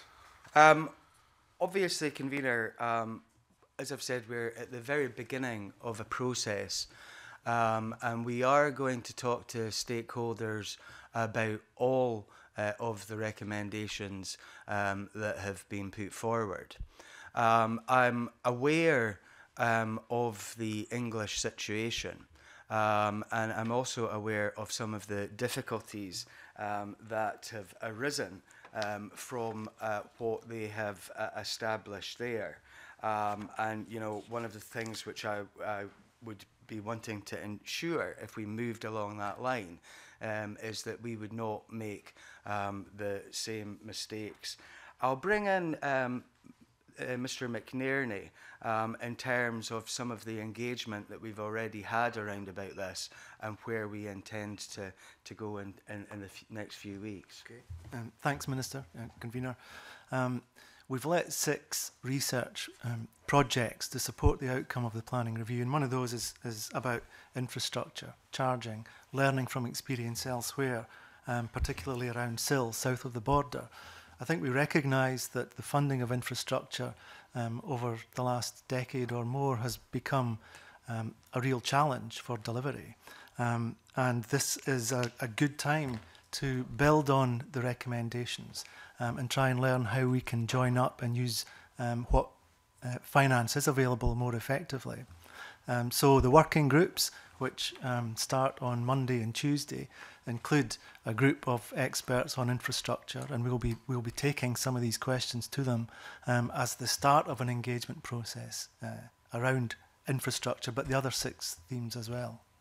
I think one of the other things, um, convener, because you did mention um, the the English si system, uh, one of the major uh, criticisms that there have been uh, about that system is that it's overly complex uh, and it's only suited to market conditions in the southeast of England and in particular around about London. Um, so obviously that's one of the things that we'll look at, but we also have to be aware um, that there has been criticism uh, of that, what has been deemed by some to be an overly complex system.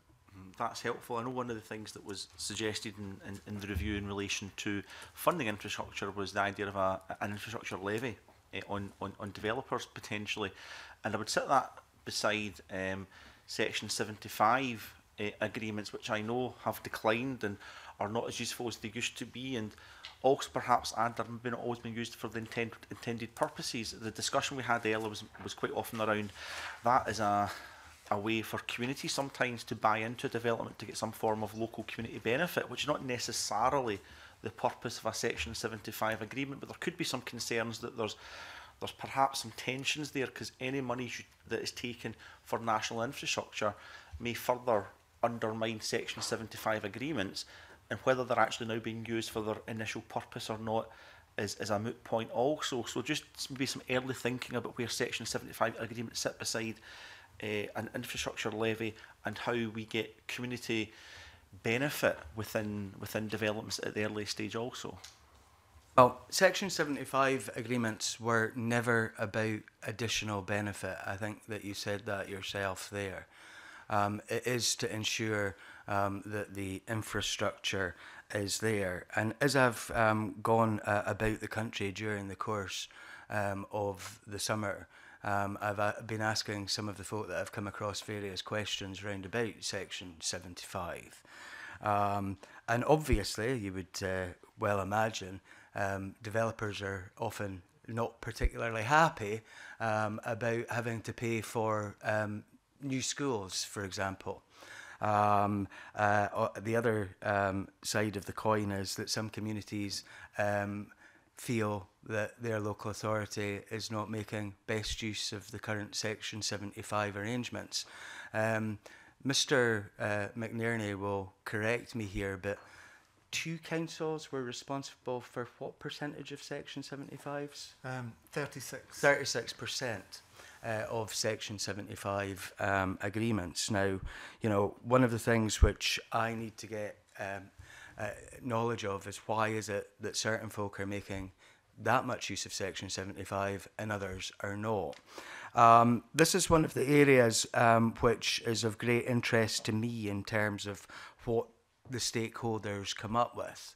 Um, as Mr McNerney says, um, we have the um, workshops uh, over next Monday and Tuesday. They are really important to us in terms um, of our engagement um, and getting the knowledge of what's going on out there. Prior to that, Um, I had um, a, a, number of roundtable events uh, with various parties in between the public uh, publication of the report and um, the um, uh, government's response.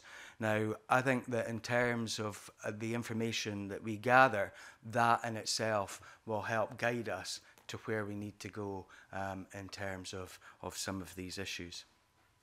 That's, that's very helpful would it be reasonable to suggest, and without presupposing what the working groups will, will, will take forward, that if Section 75 agreements are not always been used for what they were initially intended for, and there's discussion about an infrastructure levy, there may also be discussions for about what community benefit would look like and whether if Section 75 is not the most appropriate vehicle for that, and community benefit may not necessarily be about infrastructure but community empowerment, that that's something that could be discussed about teasing out how you co-produce with community benefit from the early stages within within developments. I'm sure that these issues will come up at the workshops um, next week because um, we have community representations uh, at those uh, at those workshops.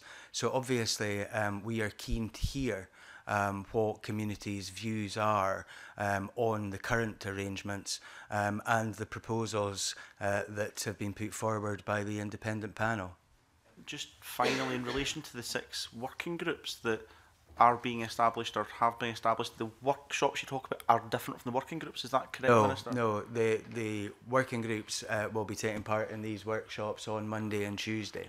So it would be helpful whether uh, just now or if you could perhaps write to us if you don't have the information at hand about uh, who were invited to sit on the working groups. I know we've got an open petition from Planning Democracy before us, and what, and they have written to myself asking about uh, how we make sure uh, individual members or very localised community organisations can be represented on some of these working groups, and that it's not for me to say who should or shouldn't be on them, but I suspect that was an appeal from planning democracy to be involved, I would imagine. Um, uh, Convener, um, there are well over a hundred invitees. I signed uh, all of the letters personally because I wanted to see um, exactly uh, who was uh, coming to the event and to make sure that it was a, as diverse um, and representative as possible. Uh, Planning Democracy have been invited um, to the uh, event next week. Um, uh, as have a number of other community organisations too. Um, I will get um, officials to write to you with all of those folks who um, were invited. Uh, but beyond that, I believe that all of the attendees will appear on the website at the beginning of next week. Am I right, Mr. McNerney? Yeah. That's very helpful, and it's not for our committee to make a plea for one organisation over another. It merely they had made representations to the committee, hence why they were name checked with, within uh, within this morning's evidence session. But can I just check separately from that? There are working groups whose work will be ongoing, and those working groups are hosting workshops next week. And I suppose what I'm interested in is who sits on the working group rather than who's going to the workshops, which are two separate things. I've maybe confused things a little bit, convener. I'll let Mr McNerney explain. Okay. Um, invitations went out for a range of people to be part of the working groups. Um, and the workshops next week are an opportunity for them to come together.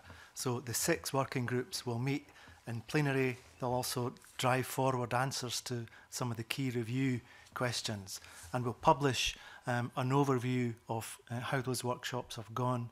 Um, there'll also be an online discussion um, platform between now and the publication of a white paper, which we intend uh, to be around December. Okay. That's really helpful. Um, thank you. Uh, Mr Gibson? very much, uh, Convener. I want, just want to focus on kind of housing, if that's okay, yes. Convener. And one, one of the areas I want to uh, uh, talk to you about is the issue of um, simplified planning zones. Um, now, you've said in the kind of the, the 10 recommendations that you're moving forward immediately that uh, you'll take forward a pilot of simplified planning zones for housing. I'm just wondering if you can explain a wee bit more about uh, what a simplified planning zone is, uh, how they'll work and uh, where the um, the pilot is likely to take place and when it's likely to get on running. Okay, thank you um, for that. Um, will progress uh, pilot simplified planning zones for housing as a priority convener. Um, we don't yet know where these pilots will be at the moment, uh, but work will work with uh, planning authorities to identify suitable candidates. Currently, there are only uh, arrangements for two SPZs in Scotland. That's Hillington Business Park um, and Renfrew Town Centres. Um, and, you know, we believe that simplified planning zones offer uh, an adaptable approach uh, to the delivery of high quality housing and to make areas investment ready. Um, the front loading of site assessments, site briefs, and, and master planning uh, would allow for early and effective community engagement at the beginning of the development process, uh, while supporting placemaking in a holistic way. And I put the emphasis on the uh, placemaking there, which I think is really important. Uh, SPZs uh, could uh, assist uh, by embedding an infrastru infrastructure first approach development and encourage greater innovation uh, in the delivery models. So we're currently putting in place all these plans to pilot SPZs for housing. Uh, we'll examine uh, a lot of these issues more when uh, we're actually in practice. I'm afraid, as I said, I cannot tell the committee at this moment in time where these pilots are, are likely to take place as yet. Um, but as soon as I have that information, um, I will uh, certainly share that with the committee. I don't know if Mr McNerney wants to add to anyth um, anything there. A couple of points, mainly about what they do. Uh, a simplified planning zone would remove the need for full planning permission. Um, so there would be, as the Minister says, a front-loaded process um, around defining what area might be subject of a simplified planning zone. The planning authority would do that um, I, I think that we will ask for interest from planning authorities and work with them and, and taking that forward. Um, there are some restrictions that a simplified planning zone um, currently wouldn't apply to areas that are protected under habitats, for example. Um, we would need to look at requirements for environmental assessment and community involvement. But once that's in place, um, it would be for developers to then to build. There might be um, a design brief but you wouldn't need to go through the planning process. So it would remove the need for planning permission. There would still be a need for, say, a building warrant, um, but working with the planning authority, we would hope to align any other consents so that it's a much more straightforward route to getting on site to. Uh, in terms of uh, the report itself, in paragraph 415, uh, it says uh, uh, that uh, some communities are not receptive to new housing development, and this is exacerbated where infrastructure is already under pressure. Now, obviously, there's an issue about improving infrastructure, and I think that's something uh, we all want to look at. I mean, I, I had a meeting with the chief executive of the Ayrshire Health Board, and he expressed concern that the planning system, for example, doesn't really involve the the health uh, board, you know, so for example, uh, there could be a proposal to build uh, several hundred new houses and yet there doesn't seem to be any interaction with a local GP practice to see whether or not they will be able to, for example, have the space to take on additional uh, uh, medical staff or whatever. So I'm just wondering if that's uh, an area that you're actually looking at and is the is the the issue of the simplified planning zones a way of trying to um, square the circle of trying to ensure that housing is provided even though communities might not be receptive or is that part of the kind of front loading exercise? I'm just wondering how all of this kind of ties in together. I think what you have asked in those questions is uh, brought bits of the jigsaw which maybe are not all together at this moment in time and how we bring all of those pieces of the jigsaw together to make the planning system much simpler and easier and to take account um, of uh, varied um, views. Um, let me start off with um, uh, your question round about no consultation um, with the health service in, in terms of um, Uh, some or, or aspects of the, the planning system. And I've I've come across that within my own constituency um, as well at points, um, Mr Gibson. I think what we need to do, and this is our great opportunity, um, is to make sure that everybody uh, who needs and should be engaged in the planning system is engaged in that system. Um, so we have the opportunity, I think, here um, to look at all of these issues, which um, I think, in fairness, largely in the past have been a little bit put to one side. So I would hope that in, in terms of what we're doing in terms of the engagement, um, but also in terms of the um, formulation of the white paper, um, that we will look at engagement a lot more to make sure um, that you know we have the uh, the right uh, infrastructure to support development in a particular area. Um, beyond that, you know, there have been various suggestions made uh, about how um, maybe um, we deal with some uh, of the infrastructure questions that are often put. Um, you know, one of the things which um, uh, has been suggested, uh, rather than upfront contribution um, at a certain point.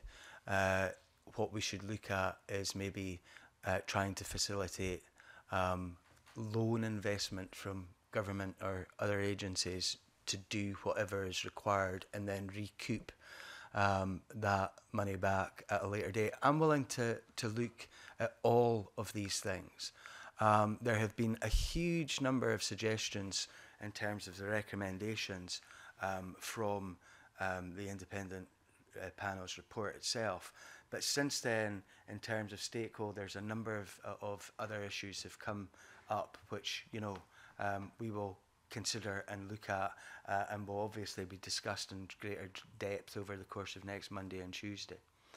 And just finally, Convener, um, on the issue of regional housing targets, you made a call on the 29th of June, I asked you about the 10,000 a year affordable houses and how they'd be distributed, and you said uh, they would really be demand-led, so it would be based on housing proposals being put forward in specific local authorities. I'm just wondering how that ties in with this regional housing target, because if it's going to be demand-led from uh, you know, developers or local authorities working together in certain areas to put forward proposals, uh, how does that, uh, you know, the regional um, uh, housing target seems to almost contradict that by almost having a kind of a, a top-down approach. And also, I was trying to tease out from the previous panel what they meant by regional targets, and I, wasn't, I didn't feel I got a, a, a kind of um, very clear answer to that question. Mr. Hamilton is smiling in the in the background, but I really think we need to be to be able to define what we're actually talking about here if we're going to take this forward. Well, it's Mr. Gibson as well, aware convener. Um, local authorities uh, currently have housing needs assessments and they decide um, where um, they are going to um, target resource um, to, um, to deliver uh, the uh, affordable housing that, um, that they require. Um, However, all of that normally feeds in um, to the strategic development plan as well, and sometimes those things are not entirely in sync. Um, now, I, I, I, I kind of speak for the panel. I think that maybe what they were trying to get at was to try and get all of this in sync. But as far um, as far as it goes at this moment, um, you know, it's local authorities that look at those um, housing needs assessments. That's uh, where we develop um, what investment we are, are putting in uh, in a local area. Um, as I say, I can't speak for the panel and what they thought about that, but I, I assume, I'm assuming that it is something to do with uh, sometimes a lack of linkage between housing numbers in the local development plan and the strategic development plan. Mr. McNerney. Um, I, I'm making an assumption here as well, but I, I read that recommendation as part of a, a simplifying of the landscape of, of plans. Um, in this instance around strategic development plans. Um, and if targets were um, more visible in a national planning framework, um, then there would be that, that tighter alignment between the national planning framework and what's provided in local development plans. And I think one of the issues just now around um, strategic development plans, um, although we, we support strategic planning, um, is that plans uh, commence at, at various different dates. Um, so it's quite complicated. So it's, a, it's around being clearer. Now, on the issue of um, what, what would the regional area be, I think that's what you were, you were probing earlier. Um, well, on the face of it, it might be the, the area that was the city, the four city regions. But of course, there are other uh, parts of the country, from Highland to, to the Ayrshires, um, who would also look for a steer, one might think. And so that's exactly the kind of thing that we would look for the working groups to discuss and, uh, and propose some options around. Thank you. Thanks, Kevin. Okay, um, Elaine Smith. Thanks very much, um, and good morning, Minister. Still is morning. Um, in your opening statement, you mentioned the importance of community empowerment involvement with stakeholders, which uh, I think we would all agree that that's an important issue. But I think, unfortunately, um, we, we've kind of heard some evidence about the third party or equal right of appeal, and we have a petition ongoing at the moment on this issue.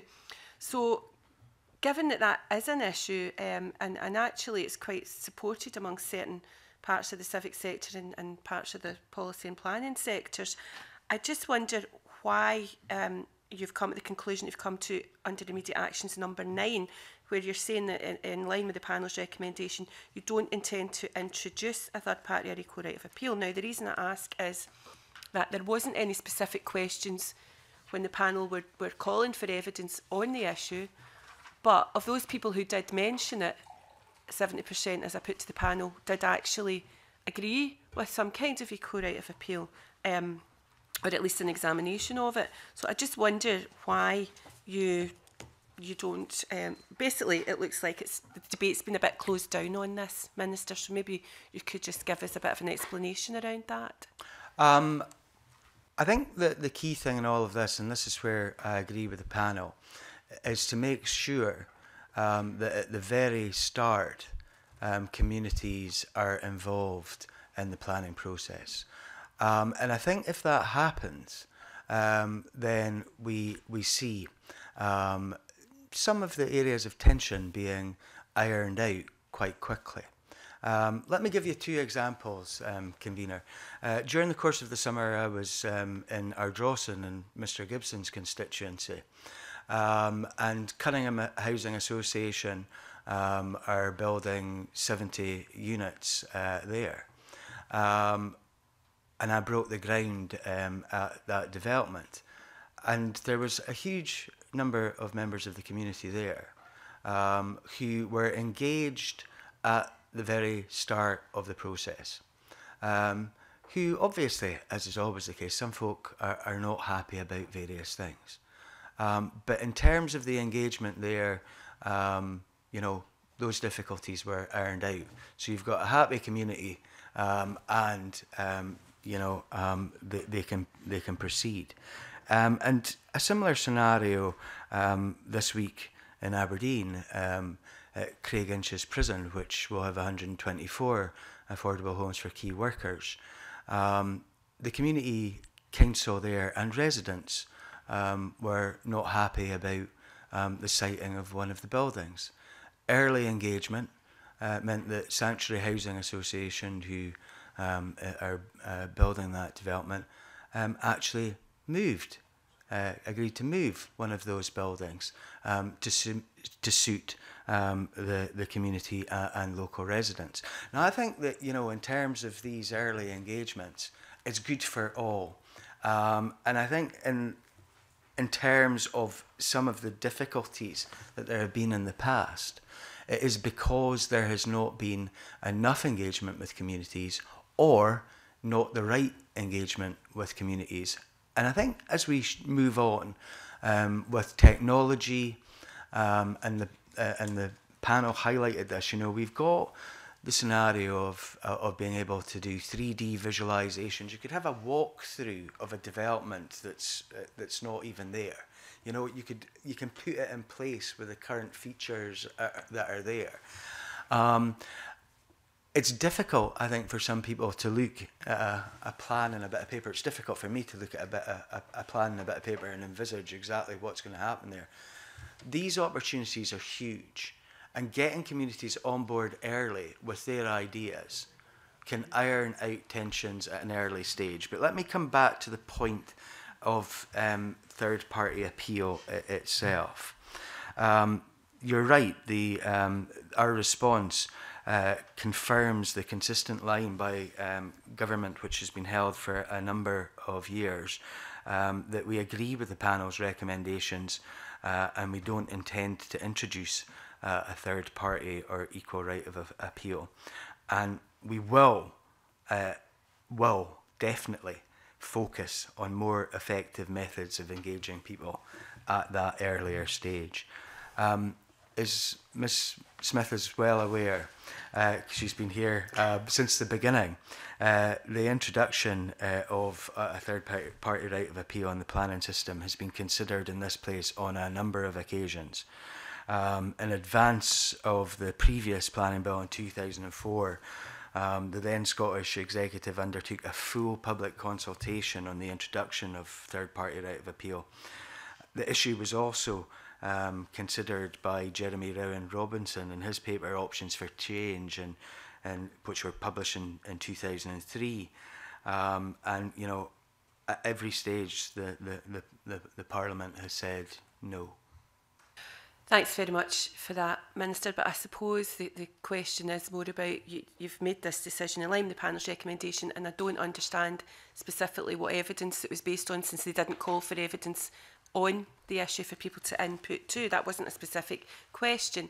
And if um, front loading, which I certainly hope it would be, I think we'd all want to avoid conflict, but if you're confident that that's going to be the way forward, then um, a point that my colleague Graham Simpson asked of the, pa the, the panel earlier, why then have any right of appeal? So that I can just put that there for a moment Um, but secondly as well, the, the evidence that has been um, taken on it, the only evidence that seems to have been researched on it is Professor Ellis from Belfast University. And actually, um, he gave a quote to the Petitions Committee, which if I might just quote, said, In the context of the Irish planning system, extended rights of appeal played an important and valued role. They were accepted and welcomed by a wide range of parties, and there was very limited evidence of abuse. So that seemed to kind of put to bed the, the, the NIMBY fears that made them rather unfounded. So I, I suppose really what people are, are concerned about is that it does seem to just have been shut down rather than um, being part of a wider consultation. 2004 was a long time ago. I, I can't recall, despite, I mean, maybe because I've been here too long, I can't recall the exact um, outcome of the public consultation at that time. Did the public overwhelmingly want a right of appeal? I do know that several members toyed with the idea of private members' bills over the years, but I'm not sitting here advocating one way or another. I'm just trying to tease out why um, you know, it, it, looks as if it might just have been closed as, as, as part of the debate. For instance, will it be discussed next week? Um, convener, uh, Ms. Smith, I think, is playing devil's advocate a little bit, which uh, I do myself um, from time to time. First of all, um, I think it would be fair to say um, that the panel got uh, a fair amount of views about um, third party right of appeal. And if I can maybe play devil's advocate a little bit as well. Um, the question that I would ask was would be why would you engage at the start um, of the planning process if your intention is just going to be to object at the end come what may you know that's that's me being devil's devil's advocate in a way as well and if i can if i can go further and i'm not aware of the professor's work but i will i will look at that um, some of the arguments that i've seen about um, the system in ireland is um, an accusation by many that it is a centralization of the planning process. Um, and I would much prefer um, if decisions were in the main taken at local level um, with the level of community engagement that is, uh, that is um, required. Um, the other thing about, um, and again I'm playing devil's advocate, um, we've probably all come across somebody at some point um, in councils or in parliament um, somebody who has basically told us that they're going to object to every single thing that is put forward in their neighbourhood. How do we deal with that kind of vexatious situation where there might be appeal after appeal after appeal after appeal? And I bring in Mr. McNerney. Okay. Um, well, just to add very briefly to that, our systems are different. So um, in Scotland, for example, we've we've tended to have um, quite full examinations of the development plan. So that's that's quite early in the process, where public have an opportunity to make comment on the plans, um, and also pre-application discussion around major developments where they have an opportunity. Now, now the 2006 um, proposals did seek to front-load um, community engagement. Um, again, actually to try and reduce the fact that people were unhappy at the end of the process and to try and um, respond to arguments for third party right of appeal. Now, it, it's clear that those from the, the review panel's findings um, can be built on and we can go much further. Um, but the aspiration is for people to take ownership of the development plan. It's a development plan that has the force of law at the end of the day. Um, and one of the, the things that the panel were asked about was exactly how we can collaborate more with communities. So, I mean, there wasn't a specific question on third party rights of appeal, but um, we, we did ask, do we need to change the system to ensure everyone has a fair hearing and plan and decision making, which, which is in that territory of um, fairness and um, trying to avoid that communities feel planning is something that's done to them. But the other key ingredient here is around the impact on how the system works overall um, would a third party right of appeal um, streamline the system or would it make it more bureaucratic? Would it make the outcome more unpredictable? Um, would it make it more unlikely that people would invest in Scotland when in other administrations they don't have a third party right of appeal? And so that whole thing about growth, particularly at this point um, in the economy, is something that um, would be in sharp focus around third party right of appeal.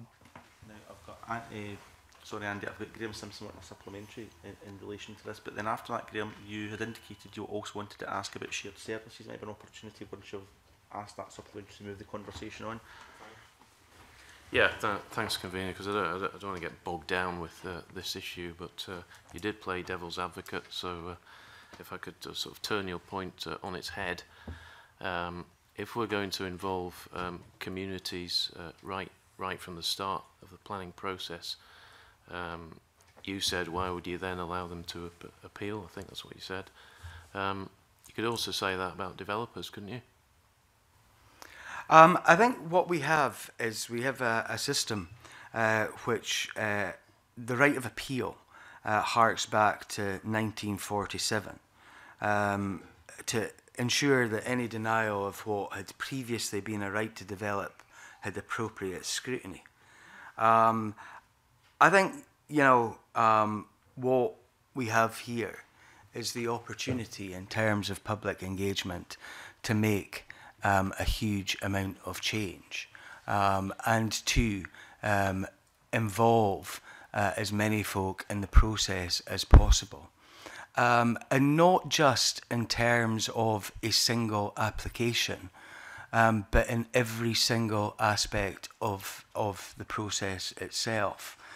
And I think that if we do that, if we front load the system uh, to ensure that there is the level of engagement that I would like to see, which follows through in the government's empowerment agenda and other areas, um, then uh, we will create a, a much uh, better um, outcome uh, for, for, for all, uh, uh in my opinion. My, uh, I mean, in terms of the appeal um, scenario. Um, and I am not an expert on the Irish system, but there is that accusation of centralisation. Um, and what has has been said previously uh, uh, is, you know, um, about reporters. Why is it that um, reporters have decisions, or why is it that that I ultimately um, may have a decision? Um, because they don't know anything about a local area, um, or I don't know anything about a local area. What we would have if we introduced third party right of appeal um, is, I think, a much more bureaucratic system, um, a much more centralised system. Um, and as has rightly been pointed out, a system um, that would not be fit um, to deal um, with the current situations that we face um, uh, in terms of um, the difficulties that may occur in terms of economic de development if Brexit goes ahead. And if we have a system which is um, very, very much different from elsewhere um, in these islands, it may well be um, that folk choose to invest elsewhere um, which is uh, would be a, a particularly difficult situation, um, in in my opinion.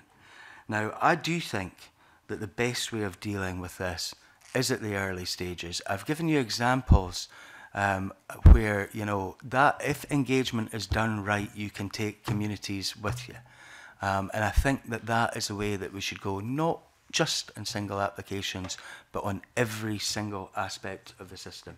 Mr McNerney, do you want to add anything? Um, the, well, the only other thing I, I, think I would add is that since the 2006 Act, um, practice around engagement has drastically improved, and it's more common now for communities to use the charrette process or other engagement techniques. The place standards being taken up across the country um, as a good uh, method to have conversations with communities about what's important to them. I think um, we need to do a lot more uh, around aligning community planning and spatial planning. Um, but if we can do that, it's all part of getting a stronger collaboration about what people feel are the important things that need to change in their areas. Okay. Um, Andy, is it on community planning you want to come in? Is it in this area? Uh, just briefly follow up on, on this convener. Um, it was Section 14 of the 47 Act that gave the right to appeal, and I think one of the questions we're going to be grappling with is precisely um, that if the system is better front loaded, there's more engagement early on, the plans are clearer, there's more consent, there's more buy in, that does in fact undermine the case for having any right of appeal for any party. And that um, at the end of the day, if at least we can equalise the rights, as it were, I'm not talking about introducing an equal right of appeal, but equalise the rights, um, that might get somewhere close to persuading those who remain to be persuaded that the system is going to deliver better upfront planning and consultation. I think one of the things, convener, here um, is that delay and uncertainty uh, for both um, the public and the private sector. Um, uh, we're we're criticised. Um, the, the system is criticised already as being slow and unresponsive.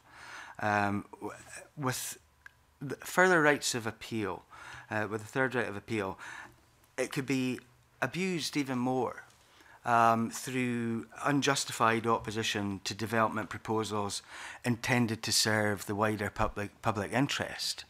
Um, and the thing is that there's already a situation um, where people have the ability um, to go to ju judicial review in a point of law. So that exists. And uh, if, if, if I look at my own home patch, um, you know, where um, the western peripheral route, uh, the Aberdeen bypass, which was first envisaged in 1948, um, hugely backed by the vast majority, the vast, vast majority of the people uh, of the northeast of Scotland. Um, it was delayed um, again and again and again because uh, of court processes. Now, I think that we would probably enter such situations on a much more regular basis if third party right of appeal was introduced. Uh, things would then end up at the reporters, which already some folk say is centralisation, and then possibly end up in my desk. Uh, yeah. Because I do want to move on from this because there are a whole range of issues I want us to discuss. Um, but just for clarity, I think Mr. Whiteman was talking about if we get the front loading correct or improve it, is there a rationale for diluting a developer's right of appeals? I think is, is, is what he was asking. And I don't want to, to dwell on that, I really do want to move on, but I think that was the core of what Mr Whiteman was asking. I don't think we heard anything about your views on that. Okay, uh, first of all, I'll take in Mr McNerney because he wants to make a point and then I'll come to that. Okay, well, just very briefly, the 1947 situation was essentially that uh, a landowner was no longer free to, to dispose of his property as he saw fit and had to seek permission. Um, and th that's the context for um, being able to appeal against the decision that they were aggrieved about. But the current, the current situation is not just landowner versus um, uh, an aggrieved community. Um, there's also the role of the local authority. So um, an applicant for planning permission needs to approach the local authority and decisions are taken by um, members generally who are, who are um, elected to take those decisions. And so if there's a decision that's contrary to the development plan, it's a major development, the full council would take a, a, a decision on that. So there is a, a democratic um, element to this as well, um, all of which really is built on the initial engagement, the strength of the plan, um, and then the member involvement in that decision. I think the other thing in terms of um, the dilution scenario, if um, we have gone through, uh, uh, and most of this is around about individual applications, but if we've gone through the scenario of um, designating something in the local development plan, or maybe um, even in the um, national planning framework, um, you know, and all of that is in there, but it's the individual application that, for whatever reason, may be rejected at a local level.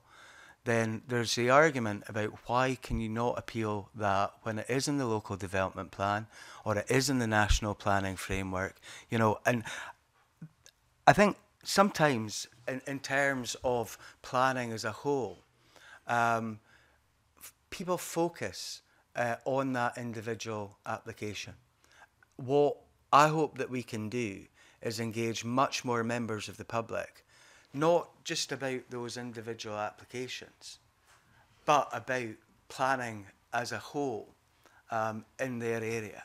Um, and I think that at that point, you know, we may get rid uh, of, of some of the tensions that currently exist. We're not going to ask any more questions on third party right, right, of, right of appeal, but that was quite a helpful clarification, Minister, because that was a very clear answer to the question of dilution of developers' right of appeal. So I'm grateful for you putting that on the record. Mr. Simpson, you want to come back and ask about shared services or? Yes, yeah. absolutely. Okay. Um, uh, I'll, I'll, ask, I'll ask about shared services and, and uh, uh, another matter as well because I think it, it's all related to the effectiveness of um, local authority planning departments. Um, you know, we're well aware that uh, many of them are well struggling, frankly, um, for for money. Um, so I wonder Perhaps you can give us your thoughts on what you mean by shared services, what services you're thinking of, um, and if you can also touch on uh, planning fees um, uh, uh, and tell us your thoughts on that. Um, why shouldn't uh, individual councils be able to set their own fees?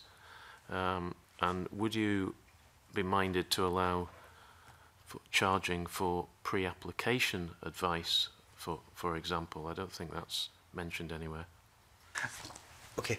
Um, in terms of um, shared services, convener, when I was previously uh, before the committee uh, at the beginning of this term, I talked about the exporting of best practice right across the country, um, which I probably harp on about far too much. But I think, you know, um, we need to ensure that we do export um, best practice.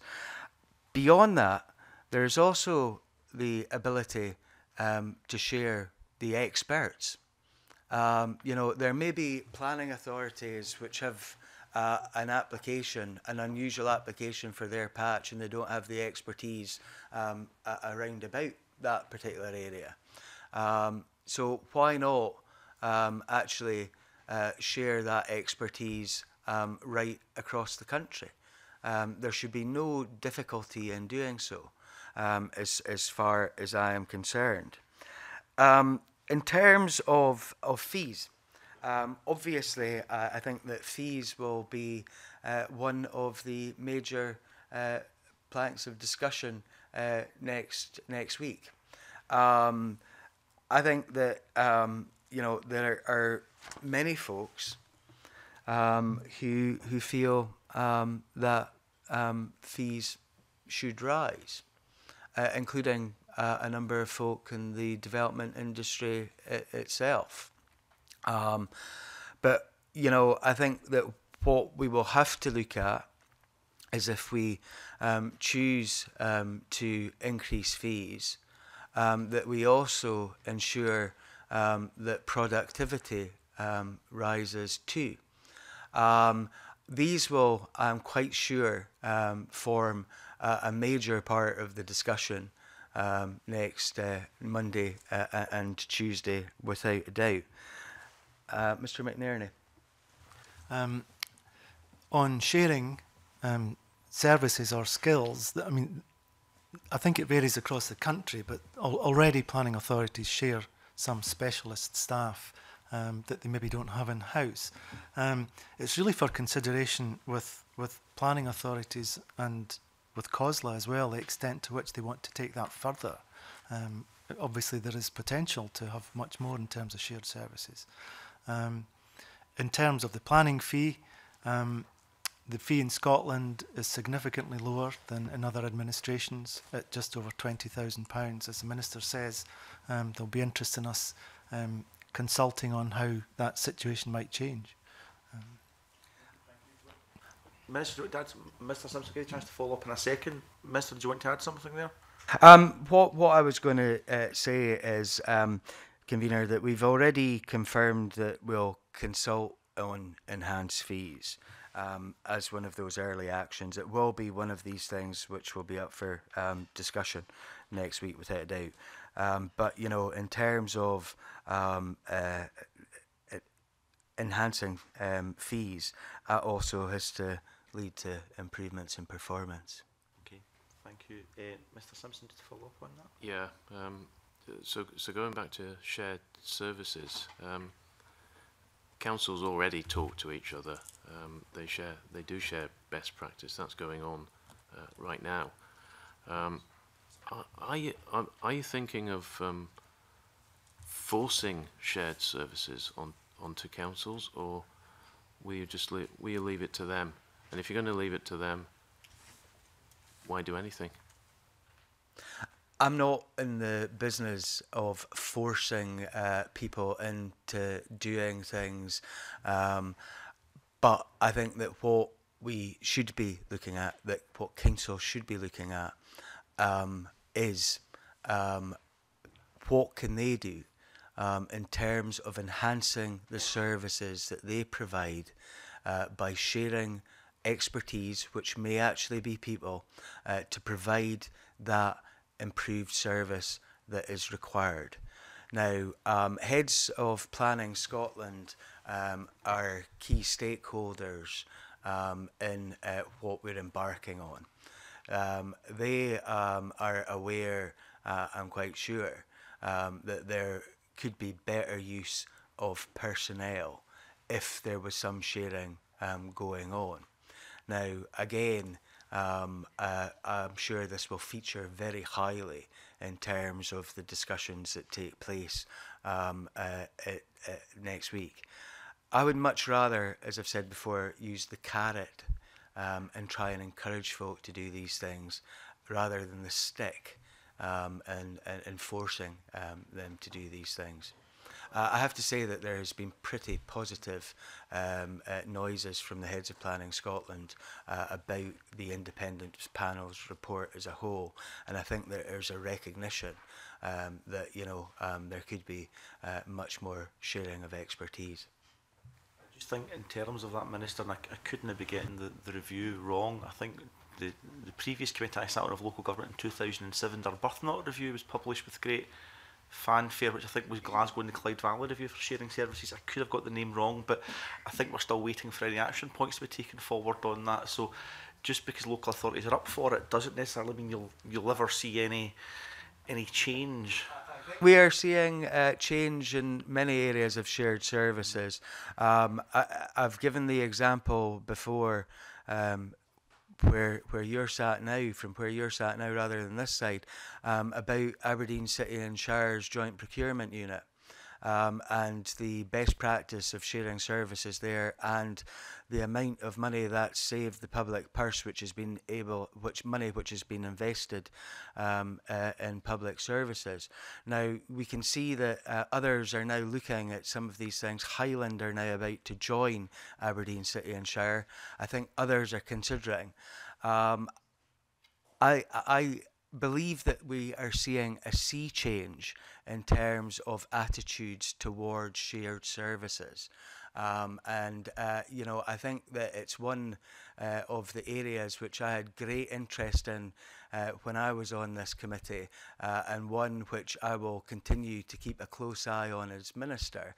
Uh, and as I go around the country, uh, I've been encouraging folk to look uh, very carefully uh, ter in terms of what they can do in terms of shared services, not necessarily with their next door neighbour, because it doesn't have to be geographical, um, and it doesn't have to necessarily be um, with other local authorities. We're drifting away from planning a bit here, convener. Uh, it could be with other public bodies too. Um, but you know, I think that folk are beginning to realise that shared services is a way forward in order to save the public purse and to allow for more investment in public services in tough times. The Whiteman will get us back on track, but can just because you've, you've already asked a question already. Is it on shared services or fees? Because I should take uh, eh, Mr. Stewart in then, who hasn't asked a question yet this session. Alexander. Okay. Thank you, Minister.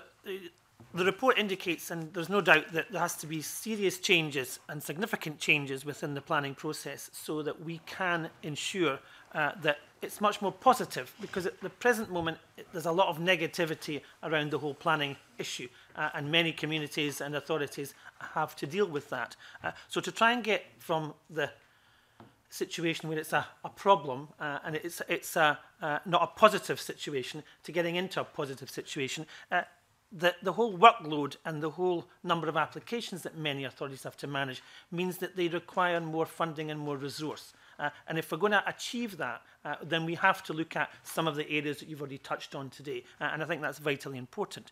But the biggest issue, and I, and I asked uh, uh, the panel earlier before you arrived, was about the whole enforcement of planning and how that can be managed and how that can be uh, evolved because if we can if we can manage to crack that nut in some way we we may manage to make a much more positive contribution so i'd like your views on that I think that um, you raise a, a, very good point. Uh, um, from my own perspective, there have been points um, where enforcement, or in some cases, lack of enforcement, um, has caused me um, some troubles over my uh, years uh, on a council. Um, one of the things which I, I've already said that we will look at is are the penalties um, severe enough uh, in these regards. It would be better if people didn't do naughty things in the first place, let's be honest with you.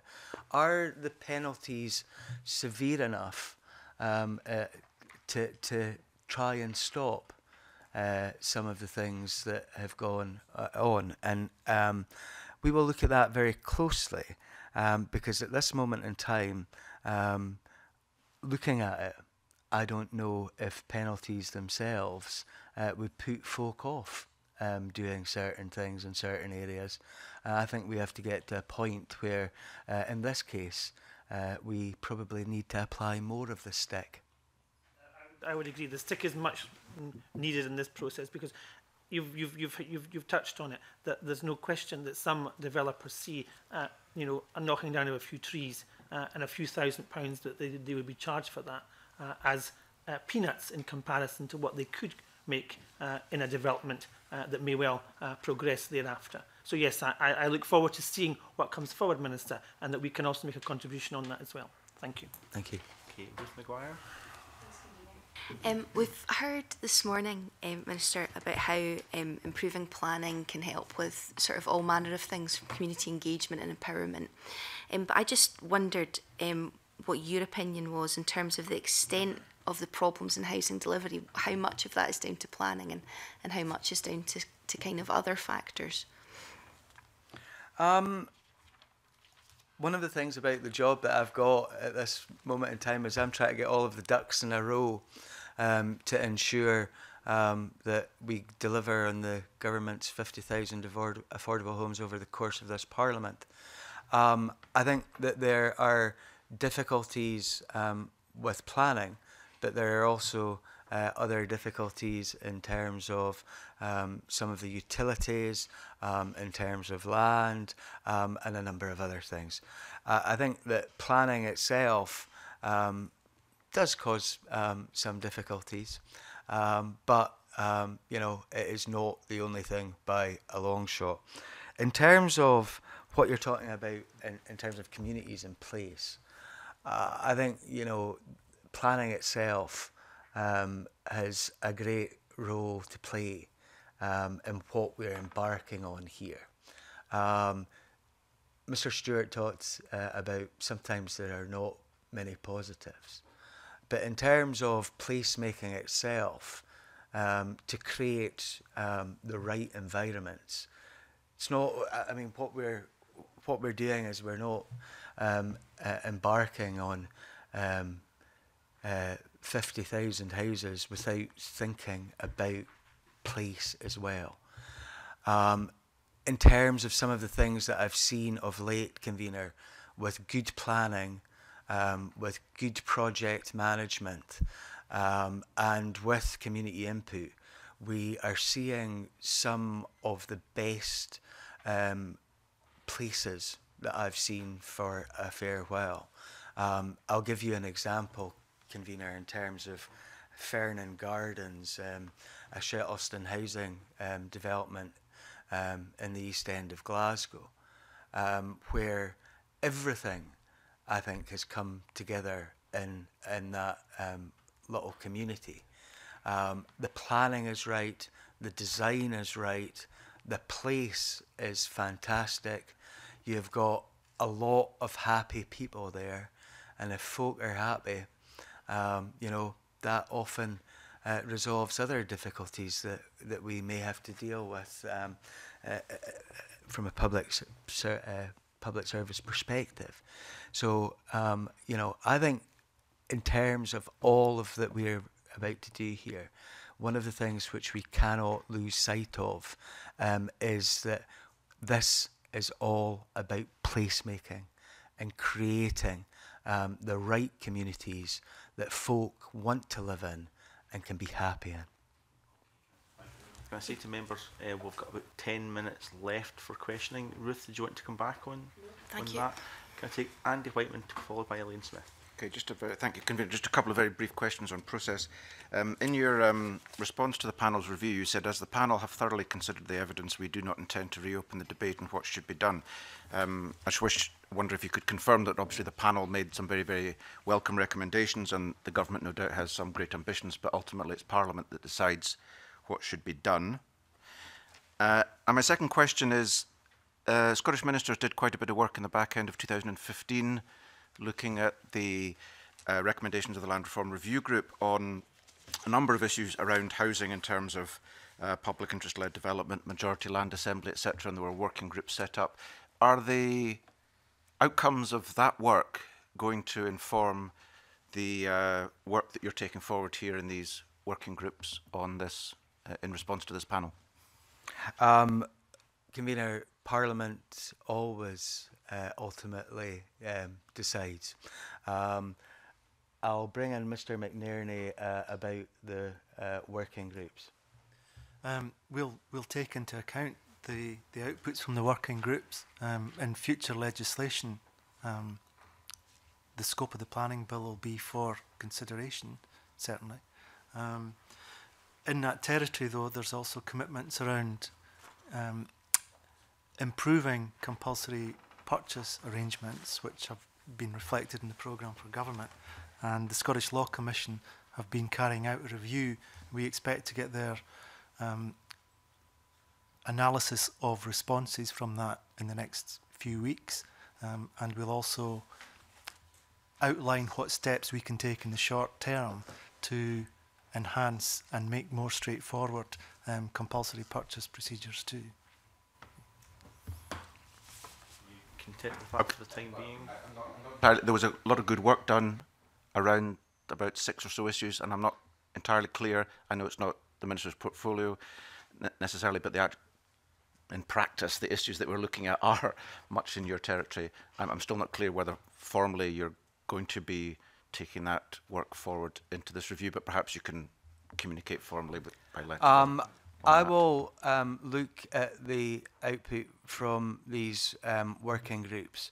Um, obviously, um, some of the stakeholders that um, that will be um, at uh, next Monday and Tuesday's events are likely to raise some of these issues, I would imagine, too. Um, but I will look at, at this um, uh, and see um, what the output from that um, would add in terms of of the um, development of the white paper. Uh, and convener, I'll maybe um, write to, back to the committee in some more depth uh, around about that, um, because I have to say that I'm not entirely au fait with every aspect of those working groups. Thank you that's very helpful, Minister Elaine Smith. Oh, thanks, Convener. Actually, Minister, it's back. To, it was a supplementary on the issue of enforcement, so if I might just return to that, if you don't mind. Um, rather than uh, enforcement, I suppose it's about how how how would you tackle or how does this process tackle uh, the blatant avoidance of rules, if you like? And I give the example of the, the visual pollution of advertising boards that are littered in the country. And actually, it's not just about the, the look of them. They could also be dangerous when they're up the sides of motorways. There's certain rules about um, posters that you could put at the sides of roads and motorways, but they get around it, and I presume they get around it because they put them on what are supposedly called portable um, boards, but we know they're not, they're, there indefinitely. Um, so I wondered, so rather than just about enforcement, is there anything in it that can look at the way that, that some of the rules that are there are being got round, basically? I, I'm certainly willing to look at uh, any anything uh, that may be getting got round, as, as, as you put it. Um, yes, um, I, I, think we, we can certainly have a, a, look at these things. I'm not entirely sure of um, the designation of some of these things. Um, maybe Mr. McNerney can help me in that regard. Um, I think you might be referring to agricultural agricultural ve vehicles because there'll be an exemption in the advert regs, which are quite ancient actually, around uh, using agricultural vehicles, um, which can display an advert. Um, we haven't looked at the advert regulations for a very long time. There's not been any pressure to do that. Um, so if it became a priority, then we, we would obviously do that. In the first instance, though, enforcement, whether it's for adverts or anything else, is really down to, to the planning authority identifying and then addressing and removing adverts that don't have any uh, express consent. I, I realise, convener, that um, we're maybe not answering in depth enough for um, Ms Smith in that regard. So we'll send more detail on that too to you.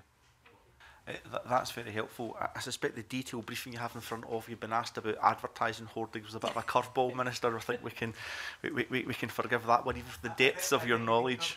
I think uh, briefings often cover a lot of bases. Um, I, I'm never surprised by curveballs, uh, convener. Um, But, you know, I, I, there's no point in me trying to give uh, any great detail because I don't have it, but we will write to the committee about it. That's great. And although, of course, in Glasgow, they've helped greatly as a planning authority because they've banned uh, election uh, materials and all the street furniture, which I know as a, the political activists in Glasgow of all parties are quite grateful for that because we don't just have to put them up, we have to take them down uh, as well.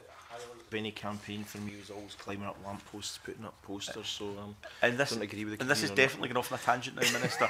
um, can, can I ask one very brief question? I suspect the answer will have to be the working groups will look at it, but I raised it in, in, in, in the first session, and it was just a slight concern over the the development plans, which I, I know are set for 10 years, but they're reviewed every five years, and I appreciate the issues around you're just settling into development planning, you have to review it again for that long-term strategy. Um, I suppose the concern I have is that if you don't get the development, development plan right in the first place, you're locking in a eh, unsatisfactory aspects of the development plan in my own experience in Glasgow. And I suspect it's just a cultural thing with planning authorities across the country. I don't make any particular issue about Glasgow is that planning authorities are not particularly good at making elected representatives, never mind local communities, aware of anything contentious in relation to their city or local plans. They'll go through almost a very basic statutory process and unless it's dangled in front of your nose, you would never know it was happening. And that's sometimes the most contentious of changes to local plans. And if we are to accelerate uh, planning approvals and get more houses built and build sustainable communities, we have to move quicker on that and we have to make sure the development plan is fit for purpose in the first place. So I'm just wondering, given there's an indication of reviewing development plans less often, if there'll be a health check around making sure there's robust consultation with communities and where possible co-production of some of those development plans? I think um, one of the things which has come up again and again and again, um, and even before uh, I, I came into this role, convener, um, is people who are at the core face of um, the development of these plans would say they had no longer finished one, they were starting on the other, and we weren't actually delivering anything um, that was in the original plan. So the focus was on continuous planning, if you like, but not necessarily about delivery of what was in the plan. Now, I would expect um, everyone uh, to have health checks, as, as you call them, uh, in terms uh, of, of any uh, uh, aspect of work that they're doing. Um, but I think, you know, one of the key things as well in terms of um, participation from communities um, was, in some regards, some of them were worn out as well by moving from the development of one onto another and communities themselves would say, why are we not seeing any change, any of the development that was proposed uh, in the plan that we took part in? And then you get drop off from that as well and less participation. So I think that the balance that is proposed um, looks right. Obviously, again, uh, this will be something that we will deal with in the workshops.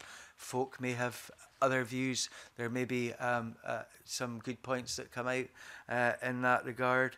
Um, but, you know, I think that previously it was just plan after plan after plan after plan and not a huge amount of delivery.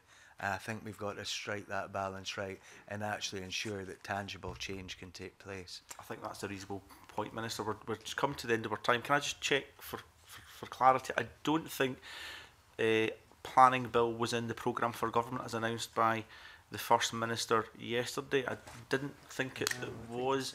Can I just check what your anticipated timescales would be for any legislation coming through Parliament?